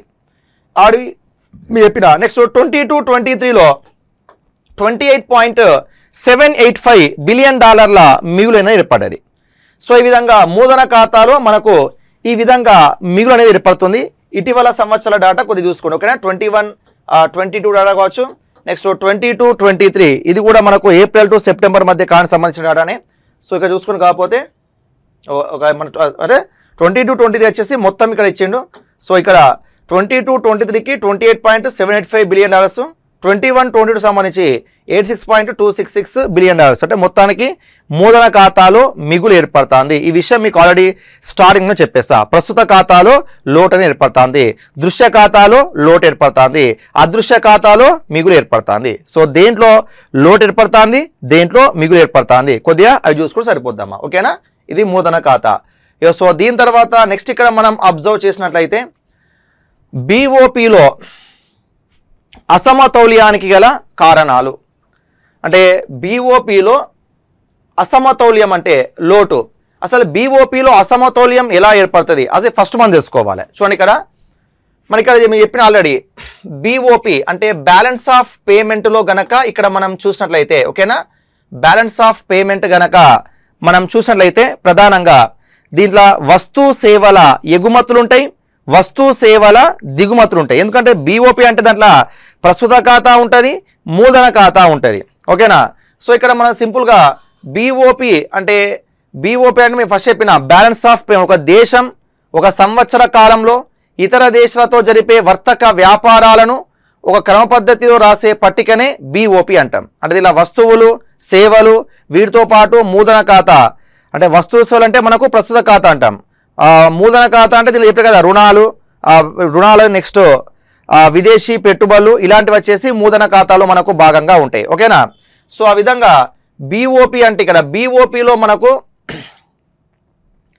బీఓపిలో మనకి ఇక్కడ వస్తు సేవల ఎగుమతులు దిగుమతులను బేస్ చేసుకొని వస్తు సేవల ఎగుమతి దిగుమతి బేస్ చేసుకొని ఇక్కడ బీఓపిని మనకి ఇక్కడ త్రీ టైప్స్గా క్లాసిఫై చేయొచ్చు. త్రీ టైప్స్గా క్లాసిఫై చేయొచ్చు. మరి ఆ త్రీ టైప్స్ ఏంటి అంటే చూడండి ఇక్కడ simple one so first one వచ్చేసి ఏంటంటే వస్తు సేవల ఎగుమతులు మంచిది ఇక్కడ. వస్తు సేవల ఎగుమతులు మరియు వస్తు సేవల దిగుమతులు రెండు సేముని అనుకోండి.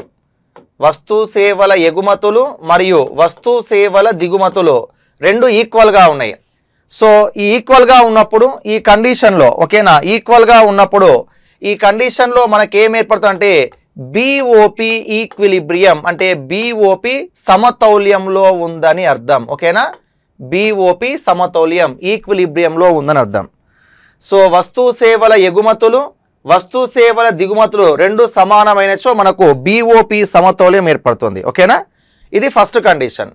అండ్ రెండో కండిషన్ రెండో కండిషన్ వచ్చేసి ఏంటంటే చూడండి ఇక్కడ వస్తు సేవల ఎగుమతుల విలువ వస్తు సేవల ఎగుమతుల విలువ వస్తు సేవల దిగుమతుల విలువ కంటే ఎక్కువ ఉన్నది వస్తు సేవల దిగుమతుల విలువ కంటే ఎక్కువ ఉన్నది సో అలాంటప్పుడు మనకు బీఓపిలో ఏం ఏర్పడుతుందంటే బీఓపిలో మిగులు ఏర్పడుతుందమ్మా. అంటే బీఓపి సర్ప్లస్ ఏర్పడుతుంది. ఎందుకంటే వస్తు సేవల దిగుమతుల విలువ కంటే వస్తు సేవల ఎగుమతుల విలువ ఎక్కువ ఉన్నప్పుడు బీఓపిలో మిగులు అనేది ఏర్పడుతుంది. ఓకేనా? ఇది second condition and third condition third condition వచ్చేసి ఏంటంటే వస్తు సేవల ఎగుమతుల విలువ కంటే ఓకేనా వస్తు సేవల ఎగుమతుల విలువ కంటే వస్తు సేవల దిగుమతుల విలువ ఎక్కువ ఉన్నది అనుకో. వస్తు సేవల దిగుమతుల విలువ ఎక్కువ ఉన్నది ఈ కండిషన్లో మనకి ఏం ఏర్పడుతుందంటే బీఓపిలో లోటు అనేది ఏర్పడుతుందమ్మా. బీఓపి డెఫిషిట్ ఓకేనా? బీఓపి లోటు అనేది ఏర్పడుతుంది ఓకేనా? సో ఈ విధంగా మనకు బీఓపిలో వస్తు సేవల ఎగుమతులు దిగుమతులను బేస్గా చేసుకొని ఈ బీఓపిని ఈ విధంగా మూడు రకాలుగా మనము క్లాసిఫై చేయవచ్చు ఓకేనా? ఒకటి బీఓపి సమతౌల్యం రెండవది బీఓపి మిగులు మూడవది బీఓపి లోటు ఓకేనా? BOP equilibrium BOP surplus BOP డెఫిషిట్గా మనం చెప్తాం. ఓకేనా? ఎప్పుడు గుర్తుంచుకోండి ఈ బీఓపి అనేది అకౌంటింగ్ దృష్ట్యా ఎల్లప్పుడూ సమానంగా అకౌంటింగ్ దృష్ట్యా ఎల్లప్పుడూ సమతౌల్యంగా ఉంటుంది. ఎందుకంటే చెప్పిన అంటే ఎక్కువగా మనకు యాక్చువల్గా బీఓపిలో మనకు ఆ అకౌంటింగ్ దృష్ట్యా అంటే ప్రస్తుత ఖాతాలో లోటు ఏర్పడుతుంది. కానీ ఆ ప్రస్తుత ఖాతా ఖాతాలోని లోటును మూదన ఖాతా ద్వారా మనం ఏం చేస్తాము భర్తీ చేస్తాము దీనివల్ల బీఓపి అకౌంటింగ్ దృష్ట్యా ఎల్లప్పుడు ఎలా ఉంటుంది? సమతౌల్యంలో ఉండటం జరుగుతుంది. ఓకేనా? ఈ పాయింట్ ఇప్పుడు ఒకసారి చెప్పిన కొద్దిగా క్లాడ్ గుర్తుపెట్టుకోండి. వెరీ వెరీ ఇంపార్టెంట్ సో ఈ విధంగా మనకు బీఓపి అనేది ఈ త్రీ టైప్స్గా మనకి ఈ విధంగా ఉండటం జరుగుతుంది. ఓకేనా? మరి ఇక్కడ ఇక్కడ ఏమన్నారు ఇక్కడ? బీఓపిలో అసమతౌల్యానికి అంటే లోటు అంటే ఇది అన్నట్టు ఈ కండిషన్ అసలు బీఓపిలో ఎందుకు లోటు ఏర్పడుతుంది? ఆ లోటుకు గల కారణాలు ఏంటిది? అనే వివరించే ప్రయత్నం ఇప్పుడు మనం చేస్తాం. ఓకేనా? సో ఇక్కడ చూడండి ఇదంతా క్లారిటీ కదా? బీఓపిలో లోటు గల కారణం ఇప్పుడు చూసుకోవాలి. చూడండి బీఓపిలో లోటుకు గల కారణాలు. ఓకేనా? బీఓపిలో లోటుకు గల కారణాలు. ఓకేనా? బీఓపిలో లోటుకు గల కారణాలు గనక మనం ఇక్కడ చూసినట్లయితే సో ఫస్ట్ వన్ బీఓపిలో లోటుకు గల కారణాలు ఫస్ట్ రీజన్ వచ్చేసి ఏంటంటే ఇక్కడ మనకు ప్రధానంగా ఫస్ట్ వన్ ఒకటి వచ్చేసి మనకి ఏంటంటే జనాభా పెరుగుదల. ఓకేనా? ఒకటి జనాభా పెరుగుదల. ఓకేనా? జనాభా పెరుగుదల. ఎందుకంటే జనాభా పెరగడం వల్ల మన యొక్క దిగుమతులు అనేవి పెరుగుతా ఉంటాయి సో ఎగుమతులు అనేవి తగ్గుతా ఉంటాయి ఒకటే మాట ఇక్కడ బీఓపి లోట్ అనగానే మీకు ఒకటే మైండ్లో ఫిక్స్ కావాలి. ఏంటిది? మన యొక్క వస్తు సేవల ఎగుమతుల కంటే వస్తు సేవల దిగుమతులు అనేవి ఎక్కువగా ఉంటాయి సో దానివల్ల మనకి ఏమైపోతుంది ఇక్కడ? బీఓపిలో లోటు అనేది ఏర్పడుతుంది. సో ఆ కండిషన్ ఇక్కడ మేము గుర్తుపెట్టుకోవాలి. సో అలా బీఓపిలో లోటు గల ఒక కారణం ఏంటంటే జనాభా పెరుగుదల. ఓకేనా? జనాభా పెరుగుదల వల్ల మన ఇక్కడ ఏమైపోతుంది బీఓపిలో లోటు అనేది ఏర్పడుతుంది. ఎందుకంటే జనాభా పెరగడం వల్ల మన దిగుమతులు అనేవి ఏమవుతా ఉంటాయి పెరుగుతా ఉంటాయి సో ఎగుమతులు అనేవి తగ్గుతూ ఉంటాయి ఎందుకంటే మనకే వస్తు వినియోగం అనేది ఎక్కువగా అవసరమవుతా ఉంటుంది కాబట్టి మన ఎగుమతులు తగ్గి ఆ జనాభా అవసరాలు తీర్చేందుకు మనము దిగుమతుల పైన ఎక్కువగా డిపెండ్ కావాల్సి వస్తుంది. దానివల్ల దిగుమతులు పెరుగుతాయి. సో దానివల్ల మనకి ఏమైపోతుంది బీఓపిలో లోటు అనేది ఏర్పడుతుంది. ఓకేనా? అది ఫస్ట్ ఫస్ట్ రీజన్గా మనం చెప్పొచ్చు. And second one.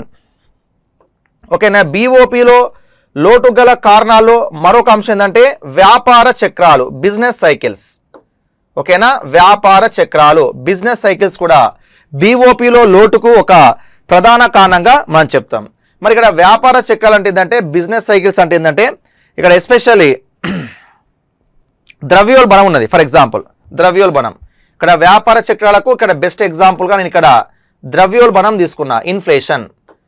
సో ద్రవ్యోల్బణం అంటే మాకు తెలుసు ధరలు నిరంతరాయంగా పెరిగే స్థితిని ద్రవ్యోల్బణం అంటాం. సో ఇక్కడ ద్రవ్యోల్బణం వల్ల వస్తు ధరలు ఏమవుతాయి పెరుగుతాయి. సో వస్తు ధరలు పెరిగినప్పుడు వాటిని మనం ఏం చే వస్తు ధరలు పెరిగినప్పుడు మన ఎగుమతులు ఏమైతే ఆటోమేటిక్గా తగ్గిపోతాయి. ఎందుకంటే ఆ వస్తు ధరలు పెరగడం వల్ల దాన్ని మనం ఎక్కువ ఇతర దేశాలు వారిని ఎక్స్పోర్ట్ చేసే స్థితిలో ఉండం. ఎందుకంటే ధరలు చాలా విపరీతంగా ఉన్నాయి కాబట్టి ఆ- ధరలు విపరీతంగా ఉన్నప్పుడు మరి మిగతా దేశస్థాన్ని కొంటారా? కొనరు. సో దానివల్ల ఏమవుతుంది మన యొక్క ఎగుమతులు అనేవి తగ్గిపోతా ఉంటాయి కాబట్టి ఇక్కడ వ్యాపార చక్రాలలో ఎస్పెషల్లీ ద్రవ్యోల్బణం వల్ల ద్రవ్యోల్బణ కాలంలో వస్తు ధరలు ఎక్కువగా ఉండటం వల్ల ఎగుమతులు అనేవి తగ్గిపోతాయి. ఓకేనా? ఎగుమతులు అనేవి తగ్గిపోతాయి. సో ఇలా ఎగుమతులు తగ్గిపోవడం వల్ల మనకు ఏం ఏర్పడుతుంది? బీఓపీలో లోటు అనేది ఏర్పడుతుంది. ఓకేనా? ఇది ఒక రీజన్గా చెప్పచ్చు. ఇక నెక్స్ట్ థర్డ్ రీజన్ మూడోది వచ్చేసి ఏంటంటే ఆర్థిక మాంద్యం. ఆర్థిక మాంద్యం. ఓకేనా? ఆర్థిక మాంద్యం. ఆర్థిక మాంద్యం అంటే ఎకనామిక్ డిప్రెషన్ అంటామా? ఆర్థిక మాంద్యం కూడా ఇక్కడ మనకు బీఓపీలో లోటుకు ఒక కారణంగా చెప్పచ్చు. ఎందుకంటే ఇప్పుడు ఆర్థిక మాంద్యం వల్ల ఏమైపోతుంది అంటే ఫర్ ఎగ్జాంపుల్ మన ఇండియా ఫర్ ఎగ్జాంపుల్ అమెరికాకు కొన్ని వస్తువులను ఎగుమతి చేస్తుంది అనుకోండి. సో అక్కడ అమెరికాలో ఆర్థిక మాంద్యం ఏర్పడ్డది. సో అమెరికాలో ఆర్థిక మాంద్యం ఏర్పడడం వల్ల వాళ్ళు మన వస్తువు ఏం చేస్తారు? కొనుగోలు చేస్తారా? కొనుగోలు చేయరు. ఎందుకంటే ఆర్థిక మాంద్యం ఆర్థిక మాంద్యం అంటే ఏంటి కండిషన్ ఆర్థిక మాంద్యంలో మనకు వస్తు సప్లై ఎక్కువ ఉంటుంది మనీ సప్లై అనేది తక్కువ ఉంటుంది. సో మనీ సప్లై తక్కువ ఉంటుంది కాబట్టి వాళ్ళు అక్కడ మన వస్తువుల్ని కొనుగోలు చేయలేరు. సో ఆర్థిక మాంద్యం ఏర్పడిన దేశాలకు వస్తువులను ఎగుమతి చేసే దేశాలకు అంటే వా ఆర్థిక మాంద్యం ఏర్పడ్డ దేశాలకు ఏ దేశాలైతే వస్తువును ఎగుమతి చేస్తాయో ఆ వస్తువుల ఎగుమతి అనేవి తగ్గిపోతాయి. ఎందుకంటే ఆ దేశంలో ఆర్థిక మాంద్యం ఏర్పడడం వల్ల మన వస్తువులను ఆర్థిక మాంద్యం ఏర్పడ్డ దేశాలు కొనుగోలు చేయవు. సో దానివల్ల ఏమైతే ఎగుమతులు అనేవి తగ్గిపోతాయి. సో ఎగుమతి తగ్గిపోతే ఆటోమేటిక్ ఏమైపోతుంది? బీఓపిలో లోటు అనేది పెరుగుతుంది. కాబట్టి ఆర్థిక మాంద్యం వల్ల కూడా ఇక్కడ మనకి ఏం ఏర్పడుతుంది బీఓపిలో లోటు అనేది ఏర్పడుతుంది. ఎలాగంటే రీజన్ కూడా మీకు చెప్పేస్తా. ఆర్థిక మాంద్యం ఏర్పడ్డ దేశాలకు వస్తువులు ఎగుమతులు తగ్గిపోయి తద్వారా బీఓపిలో లోటు అనేది ఏర్పడుతుంది. సో ఇది ద్రవ్యోల్బణం ఆర్థిక మాంద్యం జనాభా పెరుగుదల. ఇవన్నీ కూడా బీఓపి లోటు కారణాలు. ఇంకోటి ఫోర్త్ వన్ వచ్చేసి ఏంటంటే అంతర్జాతీయ ప్రదర్శన ప్రభావం. ఓకేనా? ఫోర్త్ వన్ అంతర్జాతీయ ప్రదర్శన ప్రభావం. సో అంతర్జాతీయ ప్రదర్శన ప్రభావం కూడా బీఓపిలో లోటుకు ఒక కారణంగా చెప్పచ్చు. సో దానికంటే ముందు ఈ అంతర్జాతీయ ప్రదర్శన ప్రభావం అనే పదాన్ని ప్రతిపాదించిన వారెవరంటే డ్యూసెన్ బర్రీ అమ్మ. ఎవరట? డ్యూసెన్ బర్రీ. అంతర్జాతీయ ప్రదర్శన ప్రభావంను ప్రతిపాదించిన వారెవరంటే డ్యూసెన్ బర్రీ. డ్యూసెన్ బర్రీ వచ్చేసి ఈ కాన్సెప్ట్ని ప్రతిపాదించడం జరిగింది. మరి ఇంతకు అంతర్జాతీయ ప్రదర్శన ప్రభావం అంటే ఏంది? ఇది తెలిస్తే మీకు ఆటోమేటిక్గా దానివల్ల బీఓపిలో లోటు ఎలా ఏర్పడుతుందో మీకు తెలిసిపోతుంది.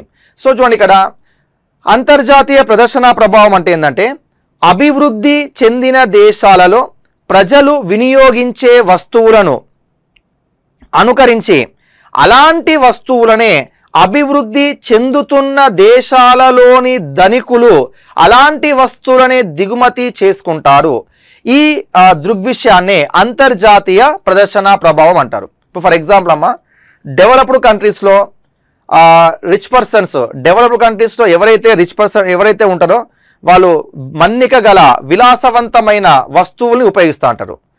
సో అలాంటి వస్తువులనే అభివృద్ధి చెందుతున్న దేశాలలోని ధనికులు వినియోగించడానికి ప్రయత్నిస్తారు. అంటే వి- వినియోగించడానికి వాళ్ళని ఏం చేస్తా అంటారు అనుకరిస్తూ అంటారు సో దీనివల్ల ఆ విలాసవంతమైన వస్తువులు ఏం చేసుకుంటా అంటారు ఎక్కువ మొత్తంలో అభివృద్ధి చెందిన దేశాలు దిగుమతి చేసుకుంటా ఉంటాయి సో దీనివల్ల ఆ దేశాలు ఏమవుతుంది దిగుమతి అనేవి పెరిగిపోతా అంటే మీకు తెలుసు దిగుమతులు పెరిగిపోతా అంటే దానివల్ల ఏం ఏర్పడుతుంది బీఓపిలో లోటు అనేది ఏర్పడుతుంది. ఒకటే మాట బీఓపిలో లోటు ఒకటి ఎగుమతులు తగ్గడం వల్ల ఏర్పడచ్చు లేదా రెండవది దిగుమతులు పెరగడం వల్ల ఏర్పడవచ్చు. ఇది గుర్తుంచుకోవాలి. ఓకేనా?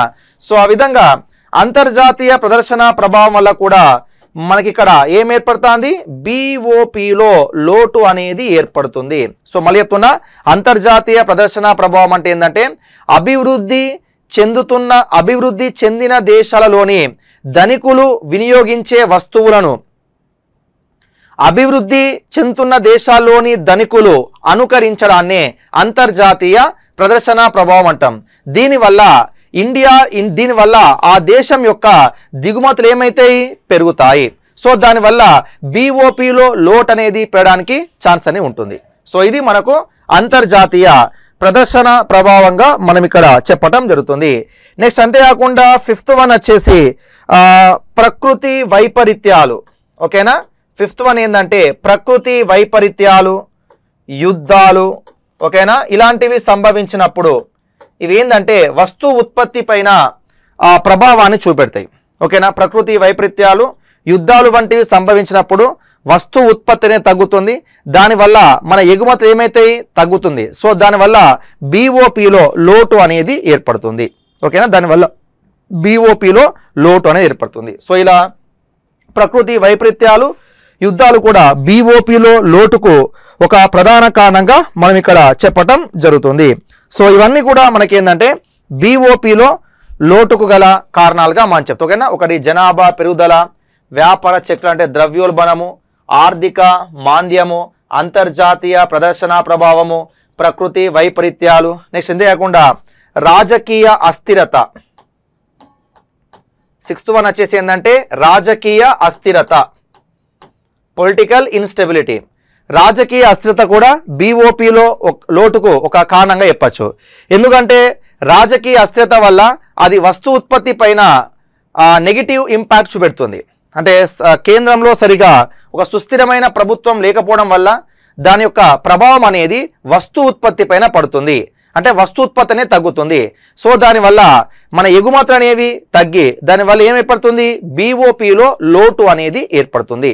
కాబట్టి రాజకీయ అస్థిరత కూడా బీఓపీలో లోటుకు ఒక కారణంగా మనం ఇక్కడ చెప్పడం జరుగుతుంది. సో ఇవన్నీ కూడా మనకి ఏంటంటే బీఓపీలో అసమతౌల్యానికి లేదా లోటు గల కారణాలు. ఫస్ట్ మీకు ఏం కావాలి అసలు బీఓపీలో లోటు ఎలా ఏర్పడుతుంది అంటే ఈ కండిషన్ గుర్తుపెట్టుకోవాలి.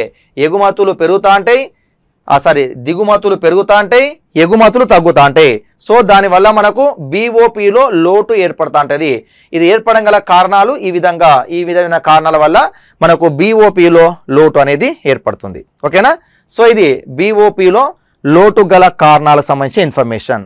సో దీని తర్వాత నెక్స్ట్ మరి ఇక్కడ బీఓపీలో లోటును తగ్గించేందుకు ఏ విధమైన చర్యలు తీసుకున్నారు? చే- ఏ- ఏ విధమైన చర్యలు తీసుకున్నారు అనేది తెలుసుకో. ఓకేనా? బీఓపీలో లోటును తగ్గించే చర్యలు లేదా అసమతౌల్యాన్ని తగ్గించే చర్యలు. ఓకేనా? వీటి గురించి ఇప్పుడు డిస్కస్ చేసుకుంటాం. ఓకేనా? రైట్.